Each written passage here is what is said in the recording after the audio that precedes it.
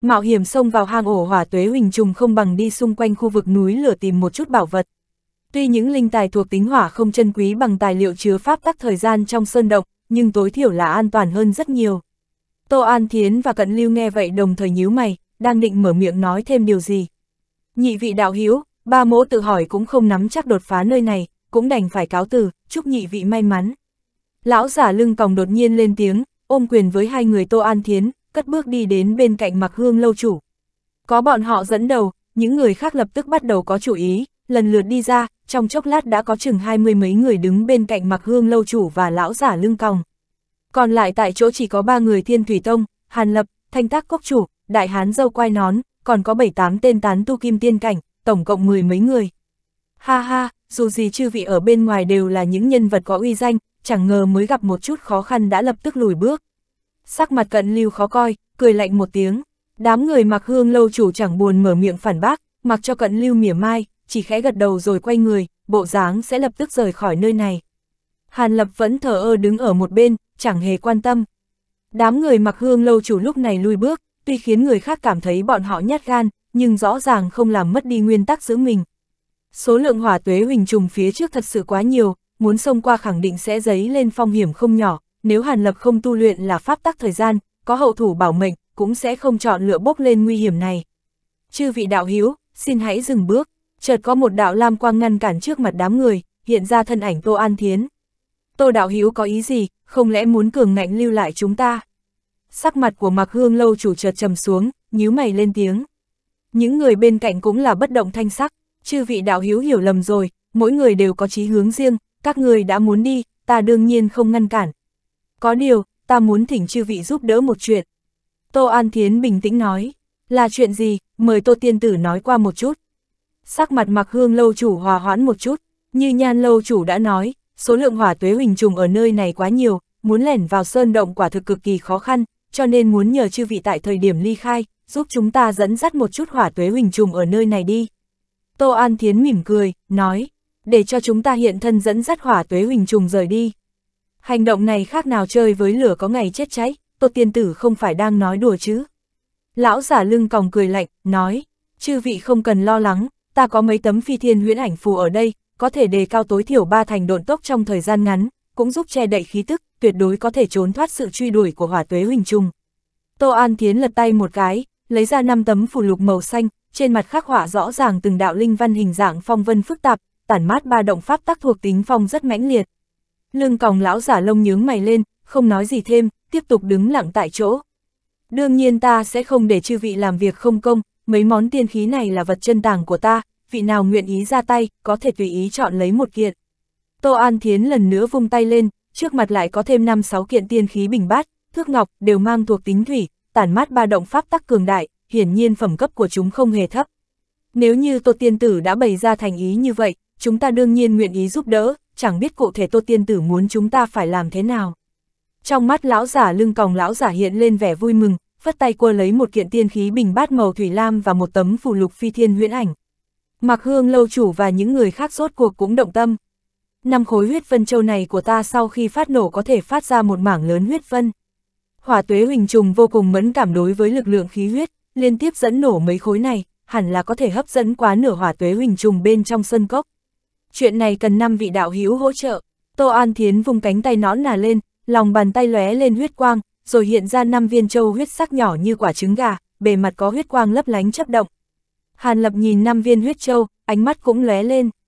Viên châu ẩn chứa lực lượng khí huyết cực kỳ dồi dào, còn có một sợi huyết chi pháp tắc, tương tự một loại huyết lôi. Tô Tiên Tử cân nhắc thật chu toàn, huyết phân châu này đúng là vật tốt nhất để lôi kéo hỏa tuế huỳnh trùng, việc này để ta giúp ngươi làm cho thỏa đáng. Lão giả lưng còng lại lấy đi một viên huyết phân châu, rồi vỗ ngực cam đoan, thái độ còn đâu vẻ lãnh đạm như trước. Thấy lão giả lưng còng trước ngạo mạn sau cung kính, những người khác đều âm thầm xem thường. Mặc hương lâu chủ suy nghĩ một chút rồi tiến lên đi một viên huyết phân châu, một kiện tiên khí và một tấm phi thiên huyễn ảnh phù. Lập tức có ba gã tán tu kim tiên tự nhận độn tốc rất nhanh tiến lên, lần lượt từng người lĩnh một viên huyết phân châu, một kiện tiên khí và một tấm phi thiên huyễn ảnh phù. Trừ năm người lão giả lưng còng ra, những người khác có ý định rời lập tức ly khai, đồng loạt phi thân ra ngoài, rất nhanh biến mất ở chân trời phía xa. Vậy xin nhờ cậy năm vị đạo hiếu, đợi những người kia đi xa, Tô An Thiến mới lên tiếng nhờ và năm người lão giả lưng còng. Tô đạo hiếu yên tâm, để ta xuất thủ trước tiên. Lão giả lưng còng tiên phong sông trận, bay về phía sơn cốc trước mặt. Sau đó vài nhịp thở, một tiếng oanh trầm đục cực lớn truyền ra từ sơn cốc bên trong, lập tức có một mảng lớn huyết vân sền sệt hiển hiện, phảng phất như kinh đào hải lãng quét sạch bốn phương tám hướng. Hỏa tuế huỳnh trùng trong sơn cốc lập tức đại loạn, miệng phun ra tuế nguyệt chi diễm, huyết phân đầy trời sau mấy hơi thở liền biến mất vô tung. Thân ảnh lão giả lưng còng hiện ra tại phụ cận sơn cốc, sau đó hóa thành một đạo độn quang sáng ngời, còn có một tầng thanh quang đặc thù bao bọc, bay vọt về đằng xa như tên bắn, tốc độ nhanh hơn nhiều so với trước đây. Quần trùng trong sơn cốc thét lên chi chi, lập tức có một mảng lớn hỏa tuế huỳnh trùng tách ra đuổi theo, ước chừng chiếm một phần mười số lượng quần trùng trong sơn cốc. Ở dạng núi thấp phía xa, Tô An Thiến lộ vẻ vui mừng, lập tức nhìn sang phía bốn người kia. Mặc hương lâu chủ không nhiều lời, dẫm mạnh xuống đất rồi đột một lao vút đi, đồng thời một tầng linh quang một bao trùm thân hình, tận lực che giấu khí tức, từ một hướng khác tiếp cận sơn cốc. Sau đó gã cũng giống như lão giả lưng còng phóng thích huyết phân châu, hấp dẫn không ít hỏa tuế huỳnh trùng chú ý, rồi lập tức hiển lộ thân ảnh chạy trôi chết. Lại có một mảng lớn hỏa tuế huỳnh trùng tách ra đuổi theo gã, số lượng tương đương với đám bị lão giả lưng còng dẫn dụ. Nhanh, kế tiếp, Tô An Thiến vội vàng thúc giục, kế sách dùng 5 người liên tiếp dẫn dụ hỏa tuế huỳnh trùng nhất định phải tiến hành thật nhanh, nếu để bầy trùng truy tung kịp phản hồi thì sẽ cực kỳ phiền toái. Chư vị bảo trọng, một tên tán tu kim tiên nhoáng một cái hóa thành một đoàn bạch quang bay ra ngoài, nhanh chóng tiếp cận sơn cốc, sau đó cũng dẫn nổ huyết vân châu, rồi lập tức tháo chạy, dẫn dụ một bộ phận hung trùng. Hai tên kim tiên còn lại cũng hành động y chang, sử dụng huyết vân châu hấp dẫn một mảnh hỏa tuế huỳnh trùng. Lúc này, số lượng quần trung trong sơn cốc đã giảm đi rất nhiều, còn lại không tới một nửa. Chúng ta lập tức xông vào, Tô An Thiến khẽ quát lên, lần nữa tế ra kia mặt tiểu phiên màu vàng, dương lên liền hóa thành một mảnh hoàng vân bao bọc lấy cả đám hơn 10 người bao gồm Hàn Lập, quang mang lóe lên rồi tiến nhập vào mặt đất phía dưới, nhanh chóng độn thổ tiếp cận sơn cốc. chương 1055, thi triển thủ đoạn. Trước sau mấy hơi thở công phu, mọi người đã tới trước sơn cốc, liền dừng lại. Dưới sơn cốc cũng có rất nhiều hỏa tuế huỳnh trùng xây tổ, thậm chí giờ phút này so với đám trên mặt đất còn nhiều hơn, tới gần thật không ổn. Các vị đạo hiếu lựa chọn lưu lại, ta rất cảm kích, bất quá ta cũng chỉ có thể giúp chư vị tới đây. Con đường tiếp theo cũng chỉ có thể dựa vào chính mình. Tô An Thiến nói ra, bấm niệm pháp quyết thu hồi lá cờ nhỏ màu vàng. Những người khác nếu đã lựa chọn lưu lại, tự nhiên đều có thủ đoạn, không dựa vào thiên thủy tông nữa, đều gật đầu. Vậy chúc các vị may mắn, lấy Tô An Thiến cầm đầu, ba người thiên thủy tông tụng niệm chú ngữ, thân thể quay tít một vòng, bên ngoài thân chấp động lam quang, thân thể trực tiếp hóa thành ba vệt quang ảnh thủy lam, chui lên mặt đất, nhanh chóng vào tới phía trong sơn cốc. Thanh tác cốc chủ lật tay tế ra một tấm phù lục màu xanh dán lên người, sau đó trong miệng nói lẩm bẩm, phù lục màu xanh lập tức dung nhập vào trong cơ thể. Khắp chung quanh nàng hiện ra vô số phù văn màu xanh, thân thể lập tức hóa thành trạng thái hơi mờ, sau đó cũng bắn ra, theo sát sau lưng ba người thiên thủy tông. Mà đại hán dâu quai nón kia thì bên ngoài thân chấp động hoàng mang, hiện ra một tầng thạch giáp thật dày màu vàng đất, bao trùm toàn thân. Thạch giáp vừa xuất hiện, cả người đại hán phảng phất biến thành một bộ thạch điêu, không lộ ra một tia khí tức của vật sống.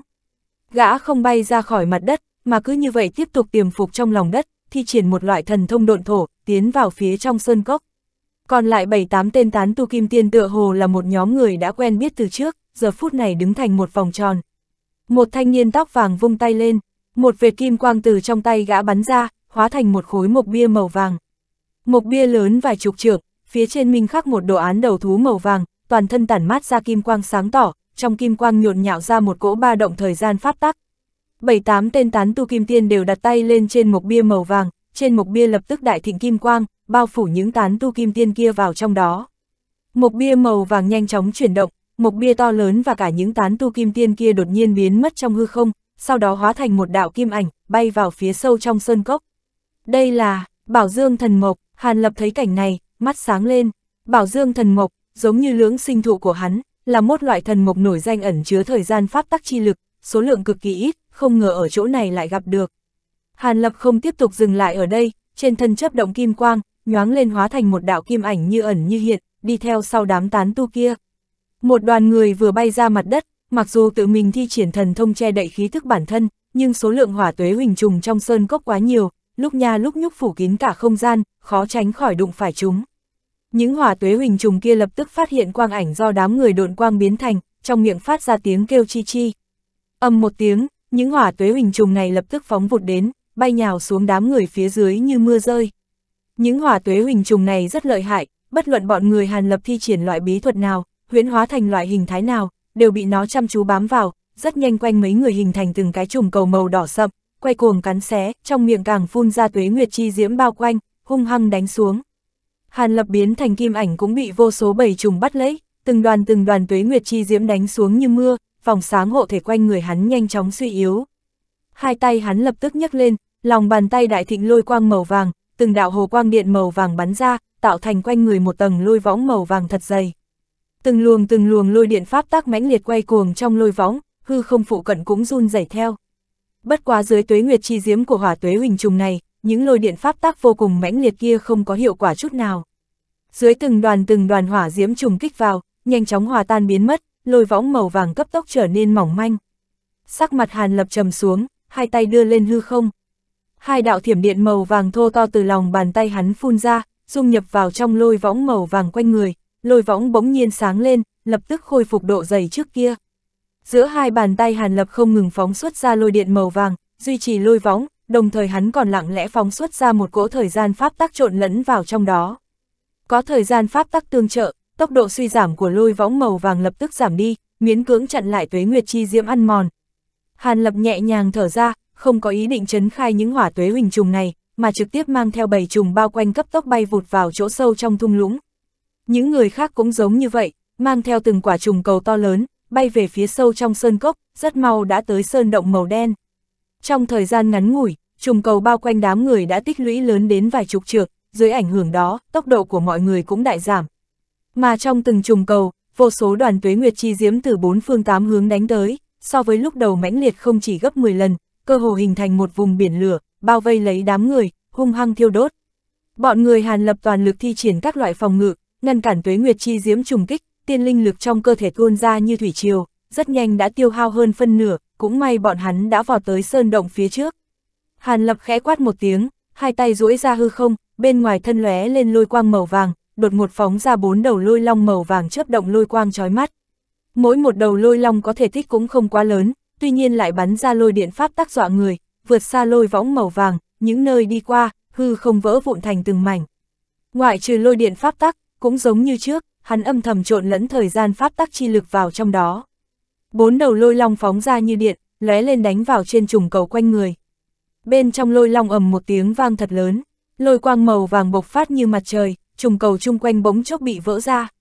Thân hình hàn lập như điện, vèo một tiếng, từ trong bầy trùng tứ tán bắn ra, chui vào trong sơn động màu đen. Trên vách tường trong động cũng có vô số lỗ nhỏ, có rất nhiều hỏa tuế huỳnh trùng từ đó bay ra, tiếp tục đánh tới hắn. Nhưng số lượng hỏa tuế huỳnh trùng nơi này ít hơn nhiều so với bên ngoài, hắn bấm niệm pháp quyết phung lên, bên ngoài thân lần nữa hiện ra một tầng lôi võng màu vàng, tùy tiện liền ngăn cản lại những hỏa tuế huỳnh trùng này. Lúc trước Hàn Lập thi triển vạn thiên không tịch thuật và thời gian pháp tắc ngăn cách khí thức bản thân, cho nên hỏa tuế huỳnh trùng đánh về phía hắn là ít nhất, lúc này hắn là người thứ nhất tiến vào trong sơn động màu đen. Bất quá hắn không có một thân một mình dẫn đầu tiến vào sâu trong sơn động, mà dừng lại nhìn lại phía bên ngoài. Một cỗ khí thức cực hàn bộc phát từ bên ngoài sơn động truyền đến, trùng cầu quanh thân ba người thiên thủy tông bị băng tinh màu lam đông kết, sau đó vỡ vụn ra, rơi trên mặt đất. Những băng tinh màu lam kia tản mát ra hàn khí cùng ba động pháp tắc kinh người, hiển nhiên là một loại thần thông hàn băng đặc thù, tuế nguyệt chi diễm bên ngoài thân hỏa tuế huỳnh trùng cũng bị đông kết tại đó. Chỉ là những hỏa tuế huỳnh trùng kia cũng không chết đi, tuế nguyệt chi diễm trên người chúng chấn động nhấp nhô khiến băng tinh màu lam lập tức từ từ bị hòa tan. Bất quá thần thông băng tinh màu lam kia không nhỏ, trong thời gian ngắn sẽ không triệt để bị hòa tan. Ba người thiên thủy tông thừa cơ bắn ra, bay vào trong sơn động, nhưng cũng không lập tức tiến vào sâu, ngừng lại. Thạch đạo hiếu, ngươi làm sao? Tô An Thiến nhìn thấy Hàn Lập đã ở trong động, mắt lộ vẻ kinh ngạc. Cận lưu cùng một thanh niên ôn nhã khác cũng lộ ra vẻ kinh ngạc. Hỏa tuế huỳnh trùng vốn đang chiếm giữ trong động cảm giác được khí tức ba người Tô An Thiến, nhao nhao vỗ cánh bay nhào tới. Ba người không quản tới việc Hàn Lập nữa, vội tự mình thi triển thủ đoạn chống cự.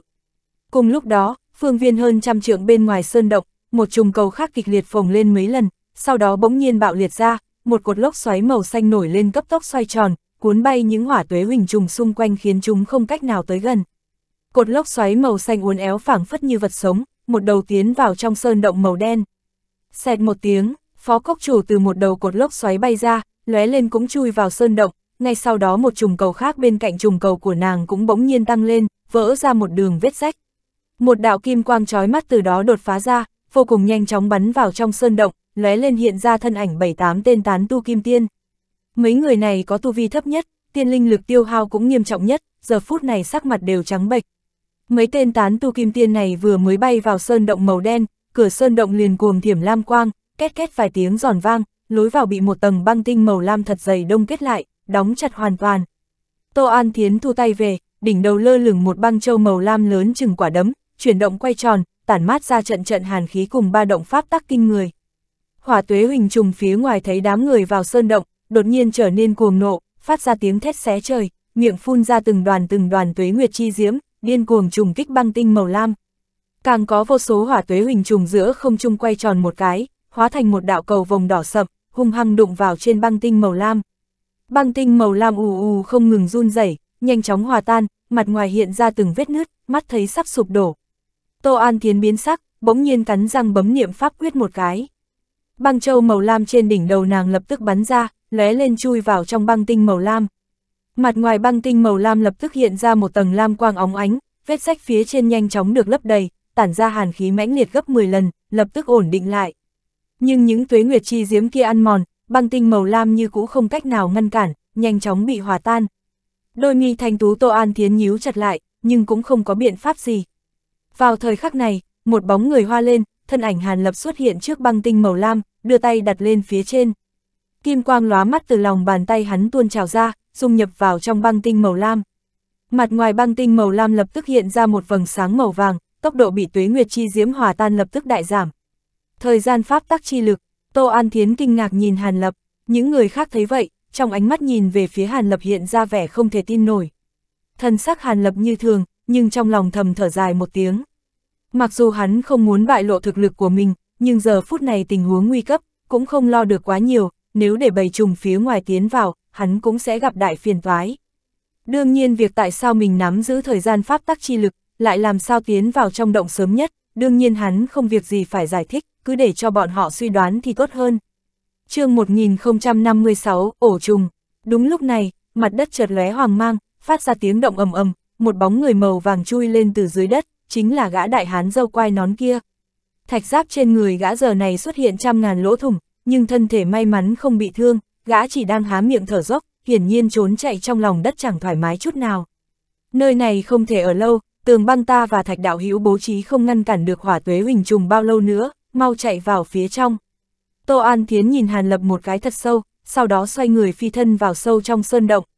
Những người khác cũng lập tức phản ứng, vội vã đuổi theo. Hàn Lập cũng theo sát phía sau đội hình, mắt khẽ liếc bên ngoài một cái, lộ ra thần sắc khác thường. Quần trùng bên ngoài bỗng nhiên náo động một trận, bắt phải có duyên cớ, đáng tiếc hắn không am hiểu hỏa tuế huỳnh trùng, nên không đoán được nguyên nhân. Trong sơn động tràn ngập một loại cấm chế chi lực cổ quái, thần thức bị ức chế, nơi đây không có ánh sáng, chỉ là một mảnh đen kịt, tầm nhìn bị giới hạn hết sức. Nhưng vì đại quân hỏa trùng phía sau có thể đuổi theo bất cứ lúc nào, cho nên không một ai dám dừng lại, cả nhóm người chẳng nói chẳng rằng một mực tiến về phía trước. Tô An Thiến và Hàn Lập cùng nhau dẫn đầu thi pháp chống cự một ít hỏa tuế huỳnh trùng thỉnh thoảng lại xuất hiện tập kích, mọi người đều không dám phi độn quá nhanh.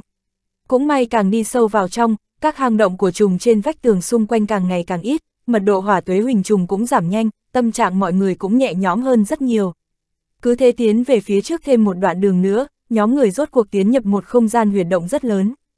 Hỏa tuế huỳnh trùng đang đuổi theo sát sao bỗng nhiên đồng loạt dừng lại, cả đám bay vòng vòng bên ngoài động, nhưng không dám đặt chân vào không gian huyệt động nửa bước. Thấy vậy, mọi người vốn dĩ đang kinh sợ, liền nhao nhao thở phào nhẹ nhõm.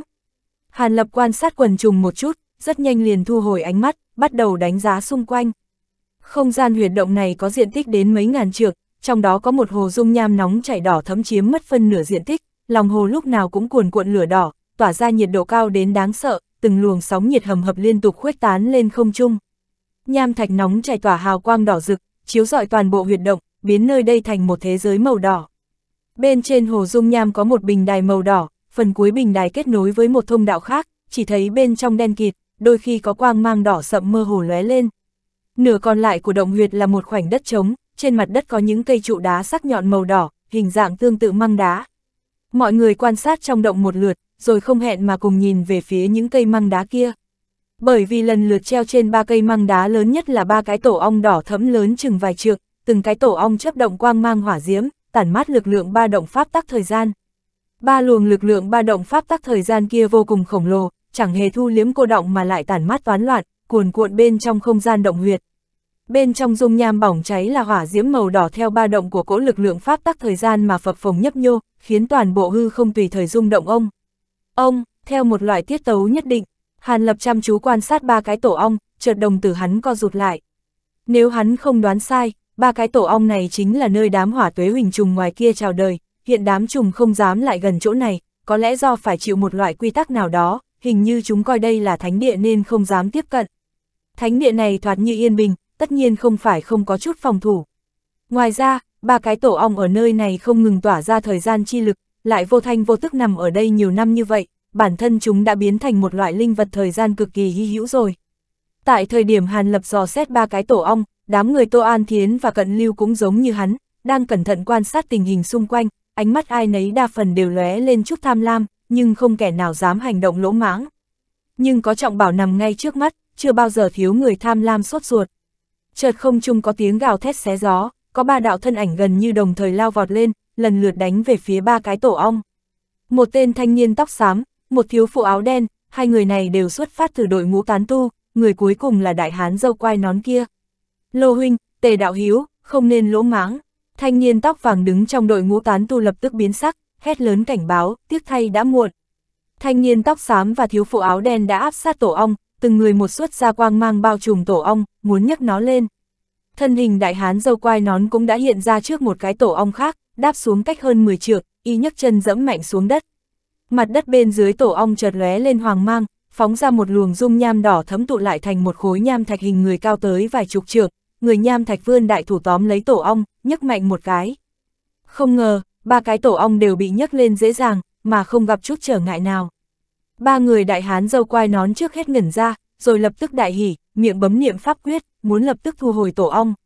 Nhưng đúng lúc này, dị biến phát sinh, quang mang đỏ thấm đột nhiên đại thịnh quanh ba cái tổ ong, lực lượng pháp tắc thời gian vốn tràn ngập toàn bộ động huyệt đột một co rút lại, tập trung trong phạm vi nhỏ xung quanh tổ ong. Chỉ trong tích tắc, trong khoảng không có bán kính tầm hơn 10 trượng, lấy ba cái tổ ong làm trung tâm, biến thành một mảnh lốc xoáy đỏ thấm, nuốt chừng thân hình ba người đại hán dâu quai nón. Ba người hiển nhiên đã sớm có chuẩn bị, đang muốn thi triển thủ đoạn chống cự, thì cử động của bọn họ đột nhiên chậm lại, thân thể như xa vào đầm lầy, tốc độ trì trệ hơn 10 lần bình thường. Đám người hàn lập ở bên ngoài nhìn vào, chỉ trông thấy ba thân ảnh chìm trong vòng xoáy đỏ sậm, động tác chậm chạp quỷ dị không nói nên lời. Đúng lúc này, một chỗ tầm thường trên thạch bích đỉnh động huyệt bỗng nhiên phát sáng, hình dạng tương tự ma bàn. Hàn Lập thấy vậy thì cả kinh, đám người Tô An Thiến cũng nhao nhao hít vào một hơi khí lạnh. Chỉ thấy vật giống như ma bàn kia hóa ra lại là một con đom đóm khổng lồ, kết cấu hình thể đại khái tương tự hỏa tuế huỳnh trùng bên ngoài, chẳng qua là trên giáp xác của con trùng này có thêm một loại hoa văn hình dạng hỏa diễm. Cự trùng chiếm dư ở nơi đây giống như đã hoàn toàn hòa lẫn vào mảnh tiểu thiên địa này, tất cả mọi người bao gồm cả Hàn Lập đều không mảy may phát hiện. Đom đóm khổng lồ vỗ lên miệng một cái, lập tức có ba đạo hỏa quang đỏ thấm phóng ra như điện, vạch lên không trung đạo đạo tàn ảnh, lấy tốc độ bất khả tư nghị đánh xuống ba người. Thanh niên tóc xám và thiếu phụ áo đen căn bản còn chưa kịp phản ứng, thân thể đã bị hỏa quang đỏ thấm xuyên thủng, lập tức biến thành hai ngọn đuốc sống, bị hỏa diễm hừng hực thiêu đốt. Hai thân hình nhanh chóng tan rã, trong nháy mắt hóa thành cho bụi. Thực lực của đại hán dâu quai nón so với hai người thanh niên tóc xám mạnh hơn không ít, thân thể đại phóng hoàng mang, khởi động một linh vực nho nhỏ đường kính chừng nửa trượng, miễn cưỡng giúp gã thoát khỏi ảnh hưởng của thời gian pháp tắc chi lực, cấp tốc thối lui. Nhưng tốc độ của hỏa quang đỏ sấm thực sự quá nhanh, hắn không thể hoàn toàn tránh thoát, cánh tay trái vẫn bị xuyên thủng. Ngay lập tức, một ngọn lửa đỏ thấm bùng lên trên cánh tay đại hán, phừng phừng thiêu đốt, một nửa cánh tay trong nháy mắt đã cháy thành cho. Ngọn lửa đỏ thấm chỉ mới bốc lên đã nhanh chóng bành trướng, muốn từ cánh tay kia lan ra khắp thân thể đại hán dâu quai nón. Đại hán dâu quai nón sợ đến tái cả mặt, hai chân liên tiếp thối lui, tay còn lại tụ khí thành đao, chém xuống bả vai bên kia. Nhưng hiện giờ phút này, thân hình gã vẫn đang nằm trong hào quang đỏ thấm của tổ ong, cử động vô cùng khó khăn, rõ ràng đã chậm một bước, nội tâm gã không khỏi khẩn trương. Đột nhiên có một luồng kiếm ảnh màu vàng từ xa bay vào tới, một tiếng phập vang lên, chém xuống bả vai đại hán dâu quai nón, kịp thời chặt đứt cánh tay trái. Cánh tay vừa ly thể đã lập tức bị ngọn lửa đỏ thấm thôn phệ, hóa thành cho bụi. Cánh đó chăm trượt, Hàn Lập lặng lẽ thu tay. Đại hán dâu quai nón thở phào một hơi, hoàng mang trên thân thể lại sáng ngời, tốc độ thối lui tăng vọt, lập tức thoát khỏi phạm vi ảnh hưởng của tổ ong. Gã khẽ gật đầu tỏ vẻ cảm kích với Hàn Lập, rồi móc ra một viên đan dược hai màu đỏ vàng cho ngay vào miệng. Trong chốc lát, chỗ tay cụt của gã đại hán dâu quai nón đã nhộn nhạo máu thịt, huyết quang lóe lên một cái, một cánh tay hoàn toàn mới đã mọc ra. Đom đóm khổng lồ dương mắt nhìn Hàn Lập, tức giận kêu lên chi chi, thân hình nó khẽ động, rơi thẳng xuống từ trên cao, đáp tại đỉnh đầu người nham thạch mà đại hán dâu quai nón vừa triệu hoán trước đó. Móng vuốt trên chân cự trùng lóe lên ánh lửa đỏ rực, rồi nó nhẹ nhàng vung chân lên. Lập tức có mấy đạo quang nhận bán nguyệt màu đỏ theo bay ra, mỗi quang nhận đều tản mát ba động pháp tắc thời gian vô cùng mãnh liệt, thân thể người nham thạch dưới chân nó dễ dàng bị cắt thành mấy khúc. Người nham thạch tan vỡ, sụp đổ ầm ầm, hóa thành một đống đá vụn lớn. Ba cái tổ ong chấp động quang mang rồi trở về chỗ cũ. Đom đóm khổng lồ đứng trên một tảng đá, nhìn xuống mấy người hàn lập, mắt lộ hung quang. Đây là hỏa tuế trùng vương có thể thuần thục khống chế pháp tắc thời gian, thực lực của nó lợi hại hơn hỏa tuế huỳnh trùng bình thường không biết bao nhiêu lần. Tô An Thiến nhíu mày, lên tiếng nhắc nhở.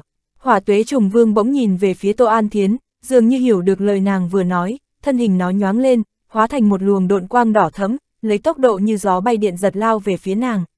Nó vung hai chân trước lên, bắn ra hai đạo hồng mang hình bán nguyệt, một đạo chém xuống đầu Tô An Thiến, một đạo khác chém xuống Hàn Lập. Tốc độ của hai đạo hồng mang hình bán nguyệt này nhanh đến không tưởng, chấp động một cái đã xuất hiện trước mặt hai người. Thân hình Hàn Lập nhoáng lên rồi biến mất tại chỗ không để lại dấu vết, sau một khắc lại hiện ra ở bên ngoài cách đó hơn trăm trượng, khiến cho hỏa tuế trùng vương ngẩn ra. Tô An Thiến mặc dù có tu vi cao, nhưng không có được tốc độ quỷ mị như Hàn Lập, mũi chân nàng điểm một cái, nhanh chóng rút lui, miễn cưỡng kéo giãn khoảng cách một chút, đồng thời vung hai cánh tay trắng nõn nà lên. Chợt có tiếng nước chảy ào ào, một tầng thủy quang màu lam hiện ra, phiêu phù trước người nàng, rồi quay tròn hóa thành một xoáy nước xanh lam, tốc độ cũng rất nhanh, hư không phụ cận cũng bị xoáy nước này lôi kéo. Quang nhận đỏ thấm chém xuống xoáy nước xanh lam, chỉ bị cản lại trong chốc lát, rồi lập tức đột xuyên qua, xoẹt một tiếng liền chia đôi xoáy nước xanh lam, tiếp tục truy kích.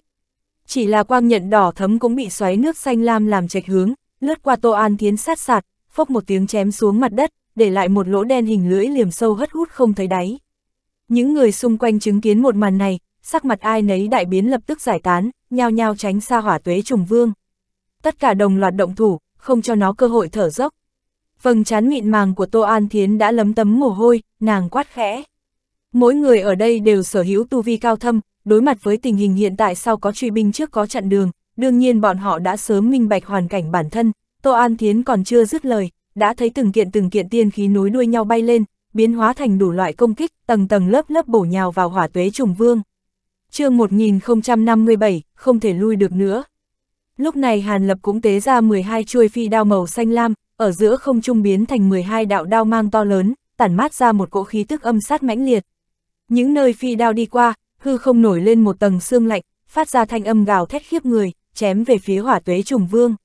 12 thanh lam ác phi đao này là hắn tìm được trong pháp khí chữ vật của Đông Phương Bạch, uy lực bất phàm, những năm qua hắn đã tế luyện một chút, thu nhập vào trong cơ thể. Trong mắt hỏa tuế trùng vương lóe lên một tia quang mang trào phúng, trên thân lóe lên ánh lửa xích hồng, phần phật một tiếng. Một ngọn hỏa diễm lớn màu đỏ từ thể nội nó bắn ra, chính là tuế nguyệt chi diễm, quay tít một vòng, trong nháy mắt hình thành quanh người nó một mảnh biển lửa màu đỏ. Mọi người thấy cảnh này, hơi biến sắc, bấm niệm pháp quyết dừng tiên khí lại, nhưng đã muộn.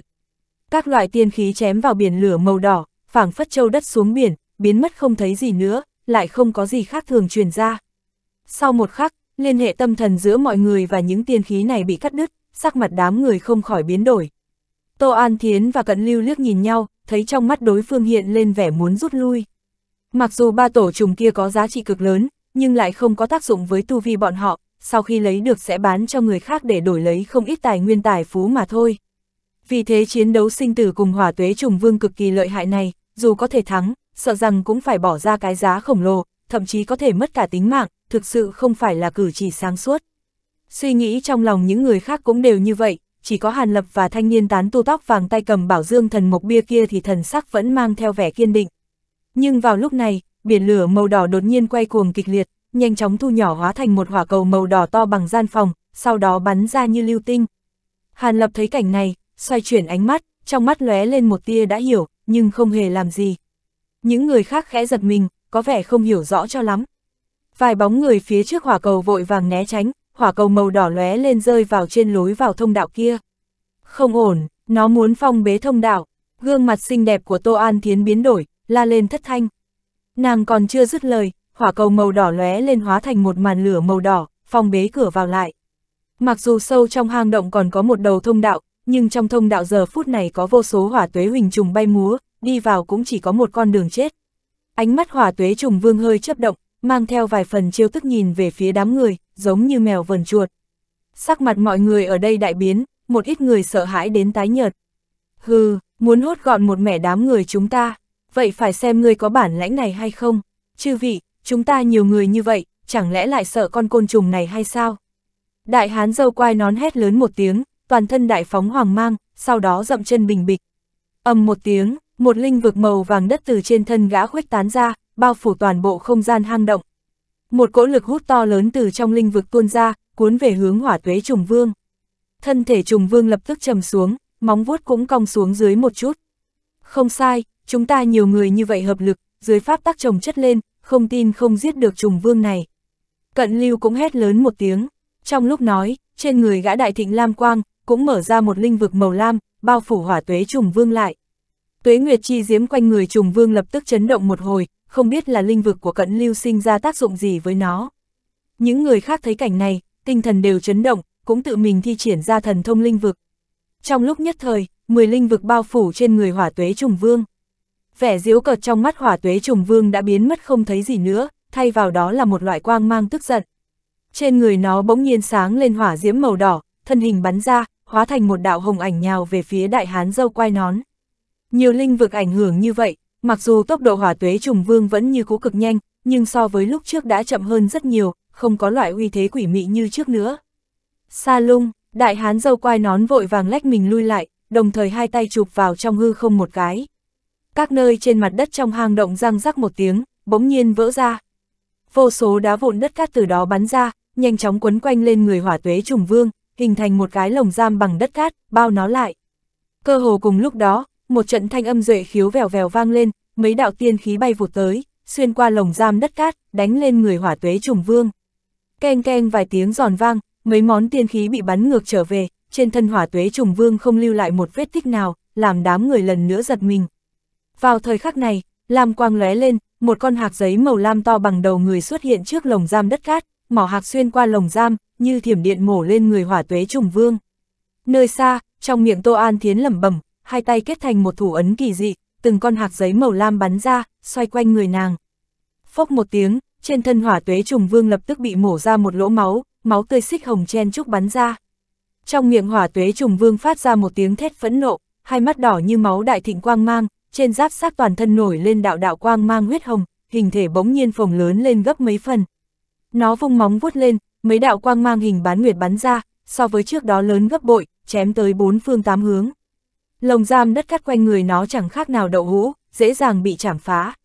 Hỏa tuế trùng vương lập tức thoát khốn ra, hai cánh trên lưng mở ra, trong nháy mắt hóa thành một đạo tàn ảnh huyết hồng, tốc độ so với lúc toàn thịnh trước đó nhanh hơn không ít, tựa hồ linh vực chung quanh đột nhiên biến mất không ảnh hưởng chút nào, điện xạ đến hướng Tô An Thiến. Tô An Thiến biến sắc, vội vàng bắn ngược ra sau, đồng thời những con hạt giấy màu lam quanh người nàng đều bắn ra, hóa thành đạo đạo lam ảnh, nhào về phía hỏa tuế trùng vương. Mặc dù tốc độ những con hạt giấy màu lam này không chậm, nhưng so với hỏa tuế trùng vương vẫn chênh lệch quá lớn. Thân hình hỏa tuế trùng vương chấp liên tục, dễ dàng vượt qua những con hạt giấy màu lam kia, chấp động một cái liền xuất hiện trước người Tô An Thiến, hai chân trước vung lên chuẩn bị bổ xuống. Ngay trong chốc lát này, hư không bên cạnh hỏa tuế trùng vương ba động một cái, một đạo quyền ảnh màu vàng nổi lên, như lưu tinh đánh lên trên người nó. ầm một tiếng vang trầm, thân thể hỏa tuế trùng vương lập tức bị đánh bay, bay lăn lộn tới đằng trước.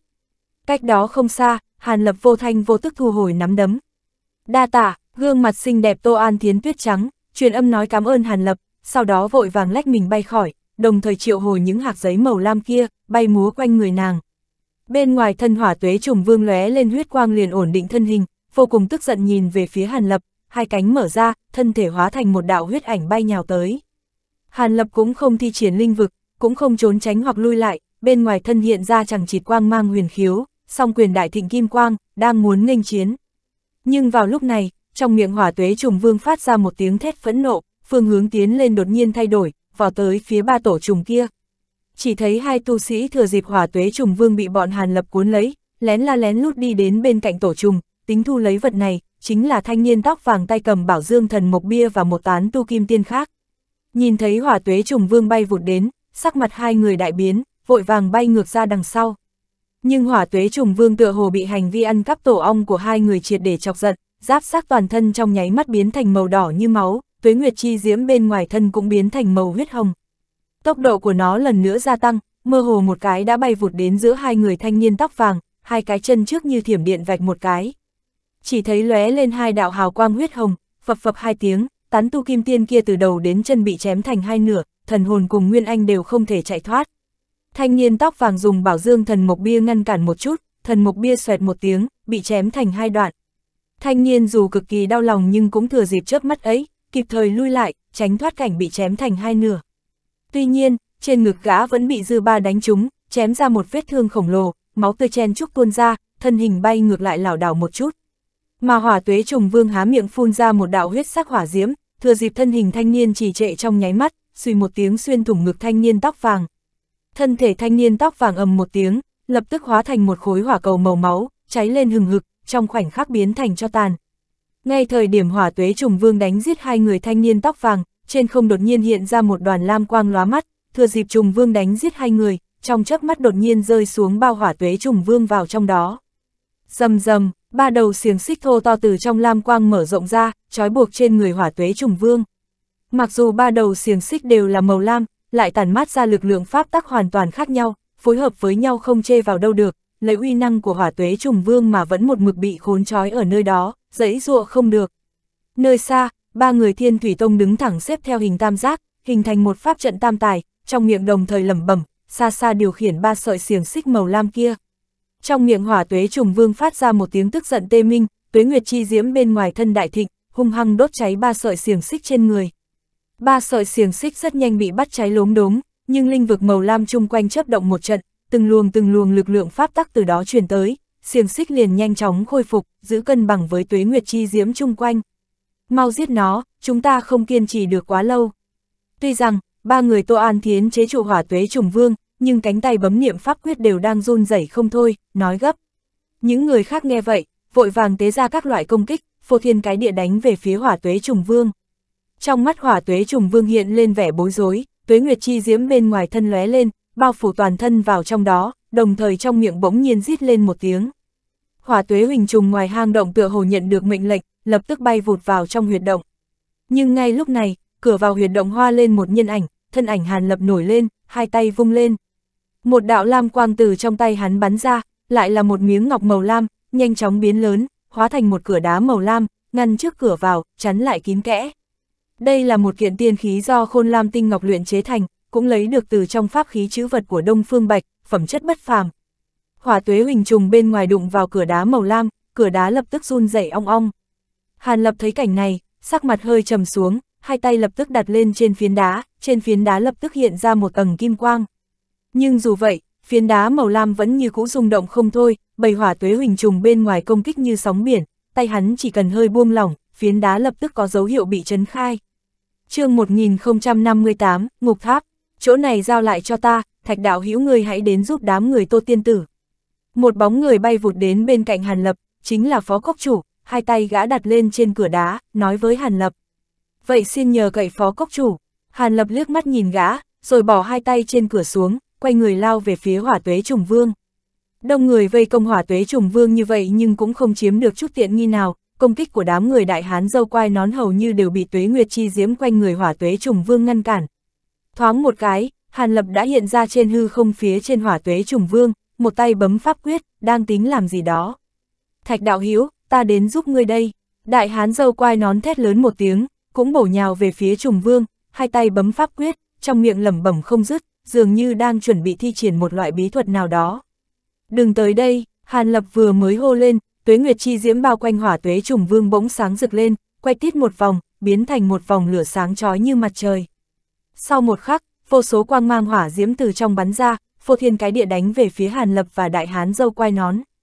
Thấy vậy, đại hán dâu quai nón vội vàng lui lại, nhưng đã muộn, thân thể gã bị từng ngọn hỏa diễm xuyên thủng, bùng một tiếng, biến thành một đám lửa. Hàn quang trong mắt Hàn Lập chợt lóe, kim quang trên người chớp động, tốc độ đột nhiên tăng gấp mấy lần, cả người vặn vẹo biến hóa không thể tin được, dường như không còn là thực thể. Cơ thể hắn bị vô số hỏa diễm xuyên qua, nhưng lại không tổn hại đến một sợi tóc, nháy mắt hắn đã hiện ra trước người hỏa tuế trùng vương. Ánh mắt hỏa tuế trùng vương hiện lên sự kinh hoàng, còn chưa kịp làm gì đã nghe thấy bên tai một tiếng hử lạnh, trong đầu đau như búa bổ, thân thể co rút lại. Ngay lúc này, trong tay Hàn Lập cầm một đạo kim quang, đúng là một thanh trường kiếm màu vàng, từng tia thời gian pháp tắc quấn quanh, tản mát ra một cỗ lực lượng thời gian pháp tắc khủng bố đến dọa người, mạnh mẽ vung lên. Thiên địa nguyên khí xung quanh run rẩy phát ra tiếng ông ông, một sợi dây nhỏ màu vàng cuộn lại phá không bắn ra, thoáng cái xé rách tuế nguyệt chi diễm trên người hỏa tuế trùng vương, khẽ lướt qua cổ nó. Phốc một tiếng, đầu hỏa tuế trùng vương gọn gàng rơi xuống đất. Cận lưu nhìn thấy hỏa tuế trùng vương bị diệt, sắc mặt buông lỏng, lập tức bấm pháp quyết tạm ngưng tam tài trận, sau đó thoát ly khỏi pháp trận, bay vụt đến ba cái tổ trùng. Hàn Lập cũng thở phào nhẹ nhõm, lật tay thu trường kiếm màu vàng lại, nhưng vừa thấy cử động của cận lưu, nhanh như chớp hắn cũng lao tới tổ trùng. Thân hình hắn lóe lên, hiện ra trước một cái tổ trùng, phất tay phát ra một đạo kim quang bao phủ cái tổ lại, lập tức thu về. Ngay lúc này, cận lưu cũng bay tới một cái tổ trùng khác, vung tay thu lại. Sau đó hai người đồng thời phát ra quang mang bao phủ cái tổ trùng thứ ba, nhưng sợ tổn hại đến vật ấy, nên tạm thời chưa ra tay tranh đoạt. Thạch đạo hiếu, người đã lấy một cái, còn muốn lấy cái thứ hai ư, không khỏi quá tham lam đấy chứ. Cận lưu liếc mắt nhìn Hàn Lập, trong mắt hiện lên một tia lạnh lẽo. Lời này ta cũng muốn dành tặng cho cận đạo hiếu. Các hạ trong đại chiến vừa rồi dường như không có bao nhiêu tác dụng, lại muốn độc chiếm hai cái tổ trùng, phải chăng ra mặt quá dày. Mặt Hàn Lập không đổi sắc, nói ra một câu không chút nhượng bộ. Nếu không phải thiên thủy tông chúng ta thi triển bí thuật giam cầm hỏa tuế trùng vương, bằng vào thực lực kim tiên nhỏ bé như ngươi mà cũng đòi giết nó hay sao? Hơn nữa ta thu lấy cái thứ hai là vì tô đạo hiếu, với công lao của nàng, lấy một cái tổ trùng chắc không vấn đề gì chứ. Cận lưu nghe xong, giận dữ đáp trả. Vậy xin mời tô tiên tử tự mình tới đây thu lấy, nếu để các hạ nắm giữ, ai biết sau này có lấy ra hay không? Hàn lập không cho cận lưu chút mặt mũi nào, cười hắc hắc nói. Ngươi nói bậy cái gì đấy? Mặt ngươi còn không biết xấu hổ hay sao? Trên mặt cận lưu hiện lên một tầng huyết hồng, ánh mắt rực lửa như muốn ăn tươi nuốt sống người khác. Cận đạo hữu hãy tặng cái tổ trùng kia cho thạch đạo hữu đi. Thanh âm Tô An Thiến từ xa xa truyền đến, chỉ thấy lúc này nàng đang đứng trước cửa đá, phất tay phát ra từng đoàn lam quang, dung nhập vào trong cánh cửa đá màu lam hàn lập dựng lên khi nãy, đính chặt nó lên trên cửa, ngăn cản bầy trùng công kích bên ngoài. Tô đạo hiếu, người đang nói gì vậy? Ý này là, cận lưu nghe vậy lông mày dựng lên, bất mãn nói. Trận chiến này công lao thạch đạo hiếu to lớn, giữ lấy hai cái tổ trùng chắc hẳn chư vị ở đây cũng không nói gì. Hơn nữa hắn vừa cứu ta một mạng, coi như ta còn nợ hắn một cái nhân tình. Tô An Thiến tiếp tục nói, Hàn Lập nghe thấy vậy, đuôi lông mày nhướng lên, kinh ngạc liếc mắt nhìn Tô An Thiến. Tiện nghi cho ngươi quá rồi, nghe Tô An Thiến nói vậy, sắc mặt cận lưu biến ảo một trận, tức giận hừ một tiếng rồi thu tay về. Hàn Lập cũng không khách khí, phất tay thu tổ trùng thứ ba về, sau đó thân hình thoát một cái hiện ra trước cửa động, hai tay liên tục bấm pháp quyết.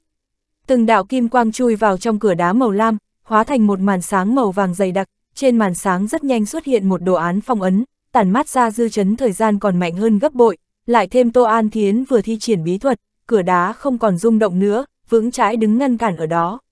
Đi thôi, Tô An Thiến liếc nhìn Hàn Lập, sau đó dẫn đầu bay đến thông bạo bên trên hồ nham thạch nóng chảy. Mất đi hỏa tuế trùng vương gia trì, màn lửa trước thông đạo lập tức biến mất không còn tung tích, chớp mắt đã thấy Tô An Thiến bay vào trong.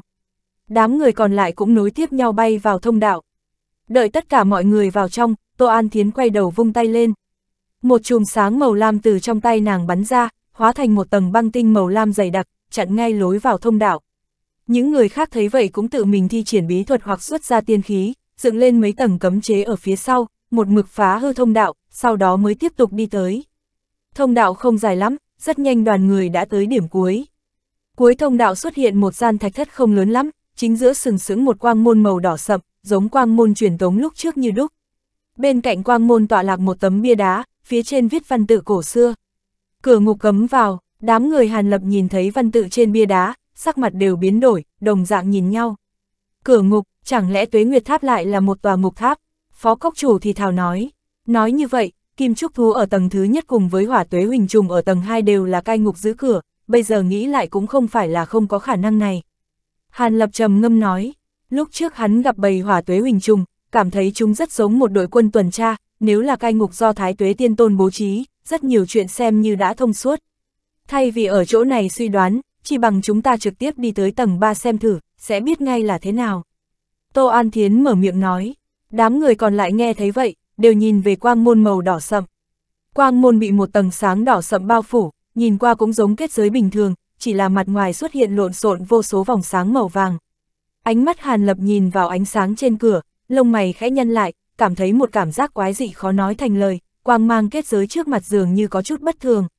Ánh mắt cận lưu đồng dạng nhìn lên quang môn, nhưng dường như gã không cảm thấy có chút gì khác lạ, ngay lập tức muốn ra tay phá giải cấm chế.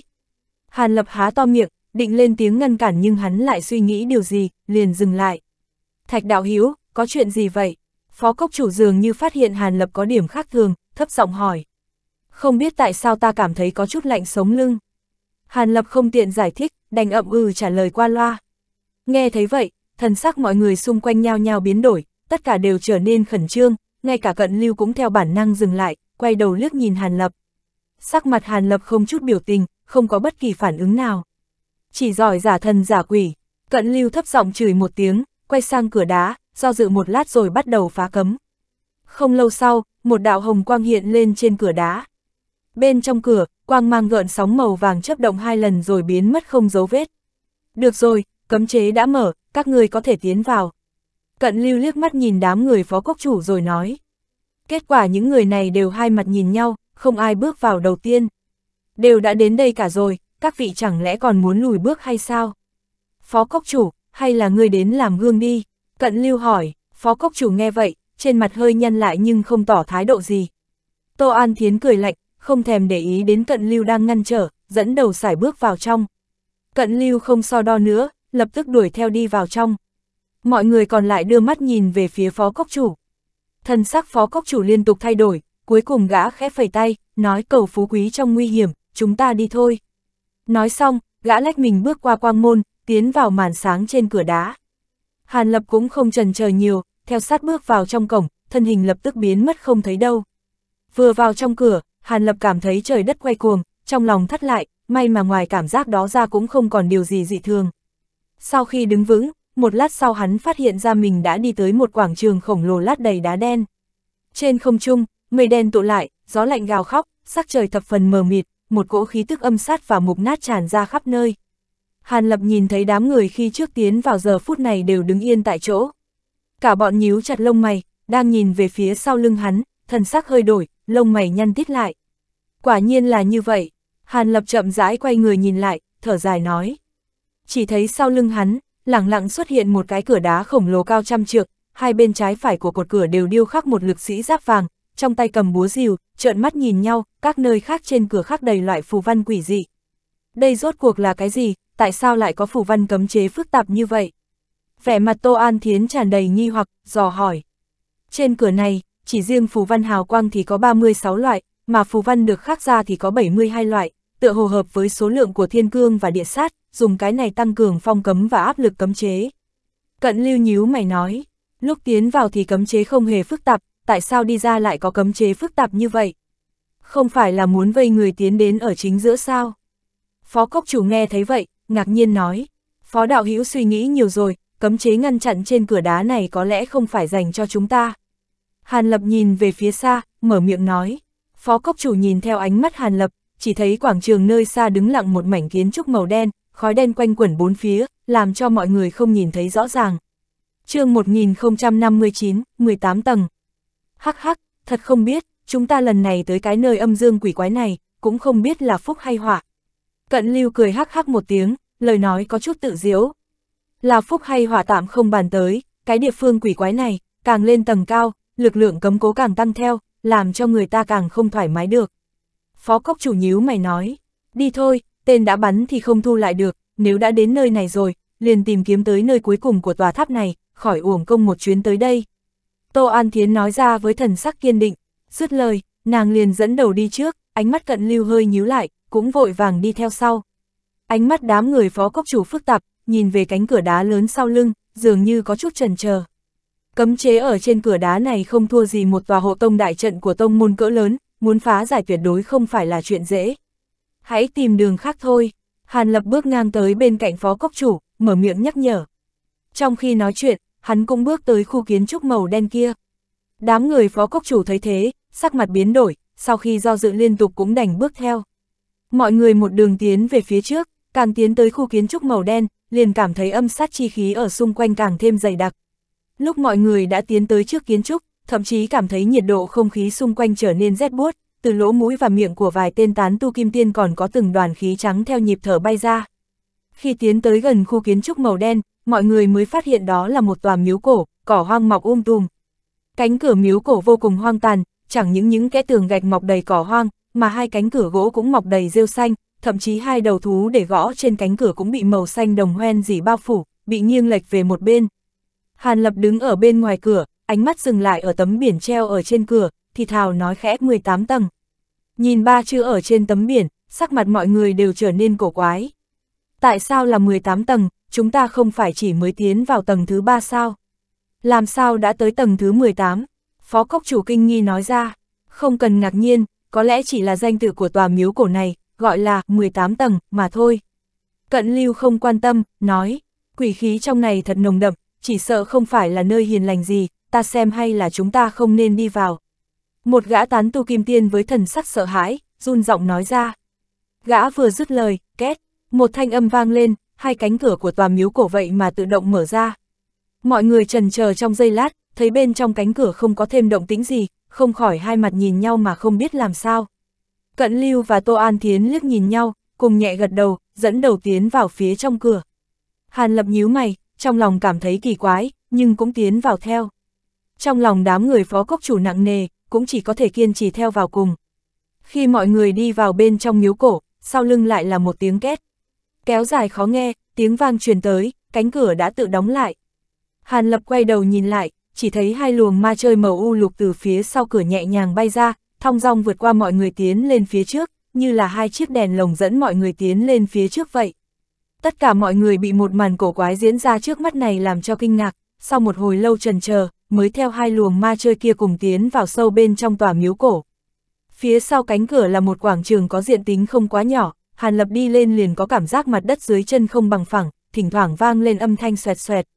Rất nhỏ, hắn cúi đầu nhìn, phát hiện mặt đất ở phía dưới quảng trường này có màu trắng, nhưng mà không phải là đá trắng trải lên trên, mà là dùng đoạn đoạn xương vỡ màu trắng trải lên thành. Mặt đất gập ghềnh thì không nói, thỉnh thoảng dưới đất lại bay ra lốm đốm ma chơi màu xanh lục. Mọi người cẩn thận đi lên, cũng may trên đường đi không có dị thường, rất nhanh đi tới Thiên Vương Điện. Bên trong Thiên Vương Điện, đứng lặng ở đó hai pho tượng Thiên Vương cao lớn khoảng hơn 10 trượng, có thể so với một ngôi nhà.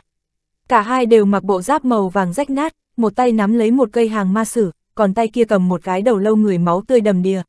Khuôn mặt của hai pho tượng này hung tợn, khác xa với khuôn mặt thiên vương ở trong chùa miếu, rõ ràng là hình tượng ác quỷ. Sau khi đi qua thiên vương điện, mọi người lại đi tới quảng trường có diện tích lớn. Chỗ quảng trường này hai bên đều xây chín tòa đài cao, bên trên có bóng người uốn éo, không ngừng có thanh âm thê lương thảm thiết truyền đến. Hàn lập nhân mày lại, nhìn về phía trên bên trái của đài cao thứ nhất, chỉ thấy trên đó có một con ác quỷ toàn thân màu da xanh tím, trong tay cầm một cái kìm sắt màu đen, đang khua khoáng vào bên trong miệng của lão bà mắt trắng, tóc hoa dâm, kẹp lấy đầu lưới của mụ kéo ra ngoài. Mặt mũi bà lão tràn đầy thống khổ, lại không phát ra thanh âm nào, chỉ có thể phát ra được tiếng ô ô trầm thấp. Phía trên bên phải của tòa đài cao thứ nhất này, lại có một nữ tử dung mạo kiều diễm, chỉ là quần manh áo rách, bị trói lại nằm trên một cái giường đá, có hai tên ác quỷ tóc xanh đang cầm lấy chiếc kéo khổng lồ cắt rời từng miếng thịt trên cơ thể. Tiếng khóc nữ tử thê lương thảm thiết làm lòng người rúng động. Hàn Lập nhìn qua một lượt, liền thấy tất cả thảm cảnh ở trên từng tòa thạch đài. Một chỗ trong đó có một cột có tấm đá mài lớn do một đại lực quỷ vương điều khiển, bên trong nghiền nát xương cốt toàn bộ phần tay chân và thân người, chỉ có cái đầu là nguyên vẹn, đang không ngừng phát ra tiếng kêu thảm thiết. Lại có một chỗ, có cái giá để nồi sắt cực lớn, phía dưới lửa cháy bùng bùng làm dầu trong nồi sôi ủng ục, bên cạnh có mấy tên ác quỷ kéo một người hoảng sợ cực độ, bỏ vào trong nồi, làm khói bốc khét lẹt và tiếng nổ vang bốn phía. Hàn lập trao mày, cuối cùng minh bạch vì sao nơi này được gọi là 18 tầng rồi. Trong thế tục ở nhân giới và linh giới, có nghe đồn minh giới có 18 tầng địa ngục, mà Hàn Lập từ nhỏ cũng nghe qua không ít, cho nên cảnh tượng ở trước mặt này cũng không cảm thấy kỳ quái chút nào cả, chẳng qua nhiều thêm một chút nghi hoặc mà thôi. Đây rốt cuộc là địa phương quỷ quái nào vậy? Sắc mặt phó cốc chủ ngưng trọng, lớn tiếng hỏi. Thanh âm của gã vừa dứt, trên bầu trời ở quảng trường phía trước, liền có một mảng ánh sáng màu đỏ sáng lên, 10 thân ảnh từ trong không trung chậm rãi hạ xuống. Hàn lập tập trung nhìn vào, liền thấy là 10 tên đang mặc quan bào màu đỏ tươi, bên eo quỷ vật còn thắt đai lưng kim ngọc. Những quỷ vật này hoặc là đầu bò sừng nhọn, hoặc mặt ngựa dâu dài, hoặc xấu xí kinh khủng. Nguyên một đám dữ tợn cổ quái, lại không có hình người, chỉ có ở chính giữa đám đó có một gã thư sinh mặt trắng không dâu, trước ngực còn cài một đóa hoa hồng, thoạt nhìn bộ dáng có vài phần giống với nho sinh đọc sách mới thi đỗ.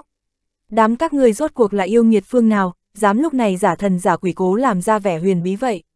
Ánh mắt cận lưu phát lạnh, mở miệng nổi giận quát nói. Tội tù lớn mật, thấy thập điện diêm quân, lại không quỳ xuống nhận tội. Tên nam tử mặt trắng dáng thư sinh, một tay chống nạnh, một tay chỉ về hướng mọi người trách mắng. Giọng nói gã lanh lảnh, lại phối hợp với động tác có phần âm nhu, lập tức phá vỡ hình tượng nho sinh, thoạt nhìn có vài phần hoạn quan bán nam bán nữ. Mười tên quỷ tướng, tự xưng là Diêm La, nực cười, Tô An Thiến cười lạnh một tiếng, nói ra, hôm nay chính là các ngươi tự vào tầng luyện ngục thứ 18 này, liền phán các ngươi chịu hình phạt vô gian, mơ tưởng lại vào luân hồi. Quỷ tướng mặt trắng nổi giận quát một tiếng, phi thân lên trước. Chín người còn lại cùng gã nhẹ nhàng bay lên, quan bào màu đỏ trên người không gió tự căng phồng phất bay, phần phật rung động. Bọn chúng thanh thế một phương, hai bên liền có gió lạnh gào thét, một mảnh khói đen to lớn từ dưới mặt đất tuôn ra phóng tới, vô số khuôn mặt ác quỷ dữ tợn, trong tay cầm binh khí bạch cốt nhao nhao đánh tới mọi người phía trong quảng trường.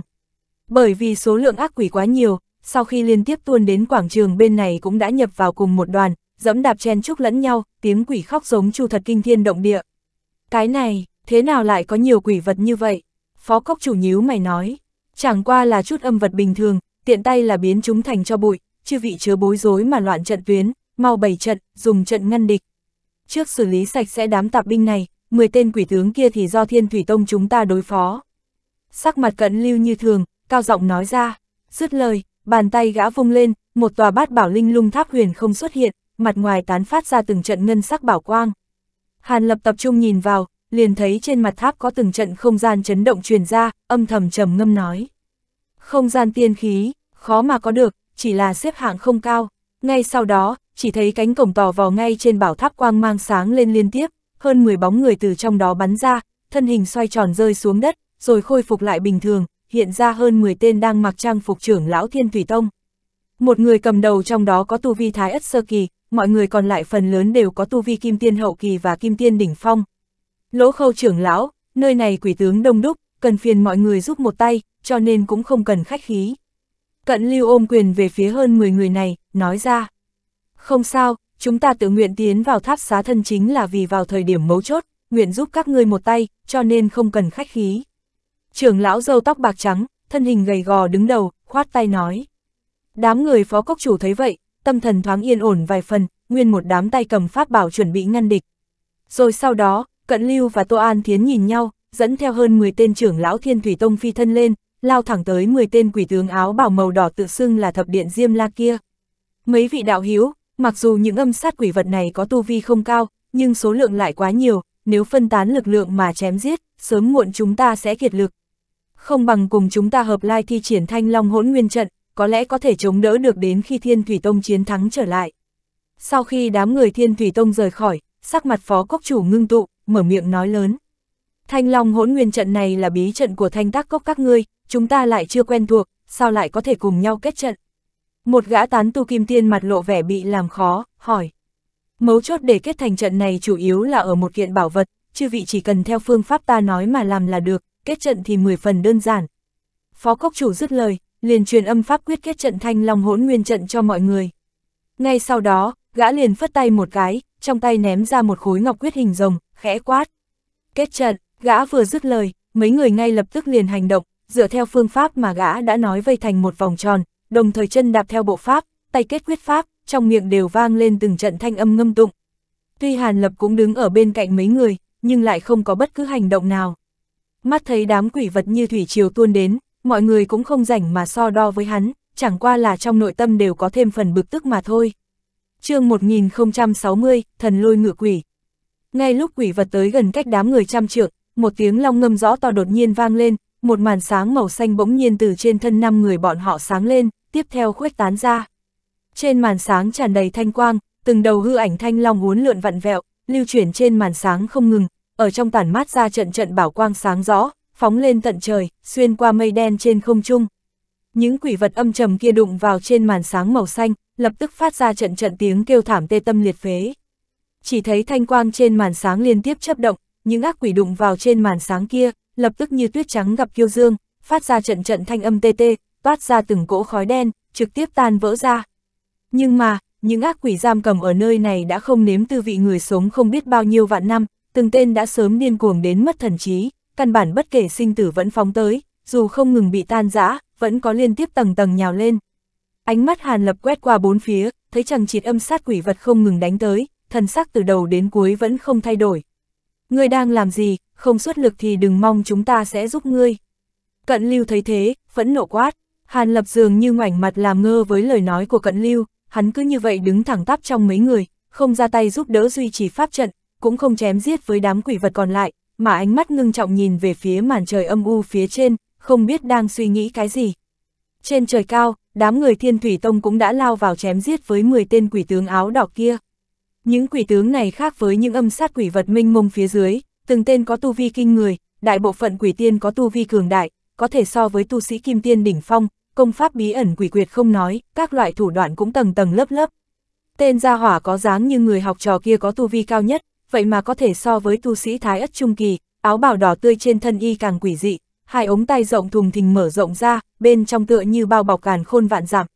Tay áo trái của y bao trùm phía dưới, vạn trượng ô quang tuôn trào ra, bao phủ xuống đầu Tô An Thiến.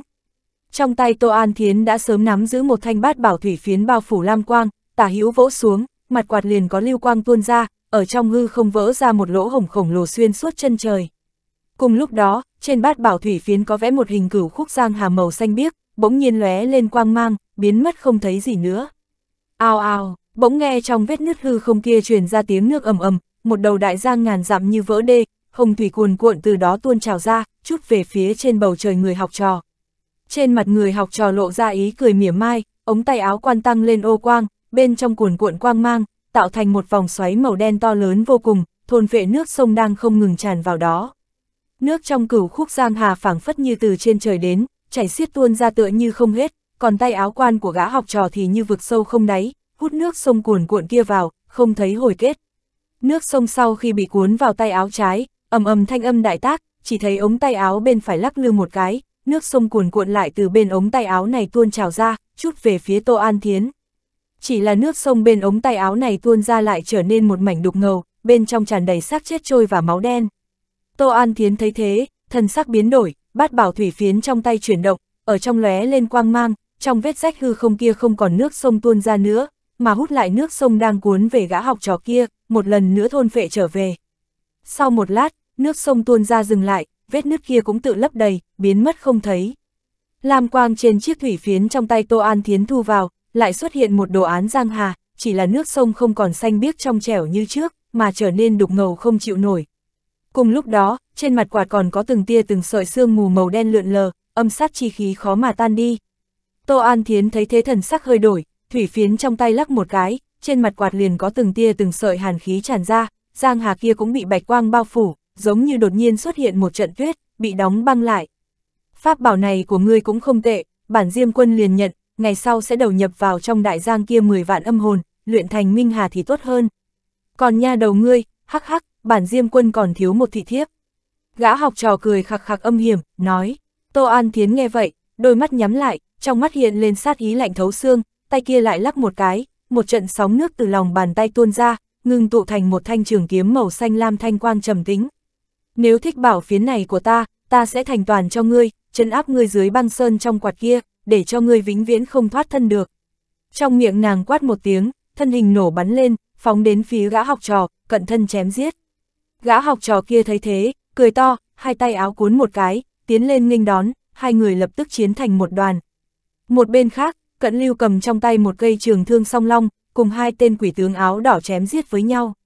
Một người trong đó có thân người đầu trâu, cầm trong tay một cây chiêu hồn phiên đỏ như máu, lá cờ không dương, quấn trên cây gỗ, lúc vừa múa âm phong đại tác, hơi không cẩn thận bị nó chạm vào, sẽ cảm thấy thần hồn bất ổn, lại có từng tia từng sợi hồn lực bị rút ra ngoài cơ thể.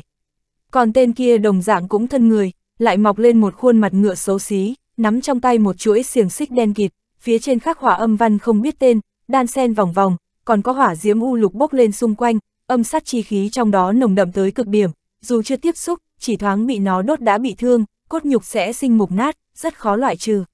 Hai tên quỷ tướng đều có thực lực thái ất cảnh sơ kỳ, một tên phụ trách đánh xa kiềm chế, một tên am hiểu cận thân chém giết, thập phần khó chơi, cho dù là cận lưu, ứng đối cũng không dễ dàng, cũng chỉ có thể miễn cưỡng áp chế, không rảnh đi bận tâm những người khác.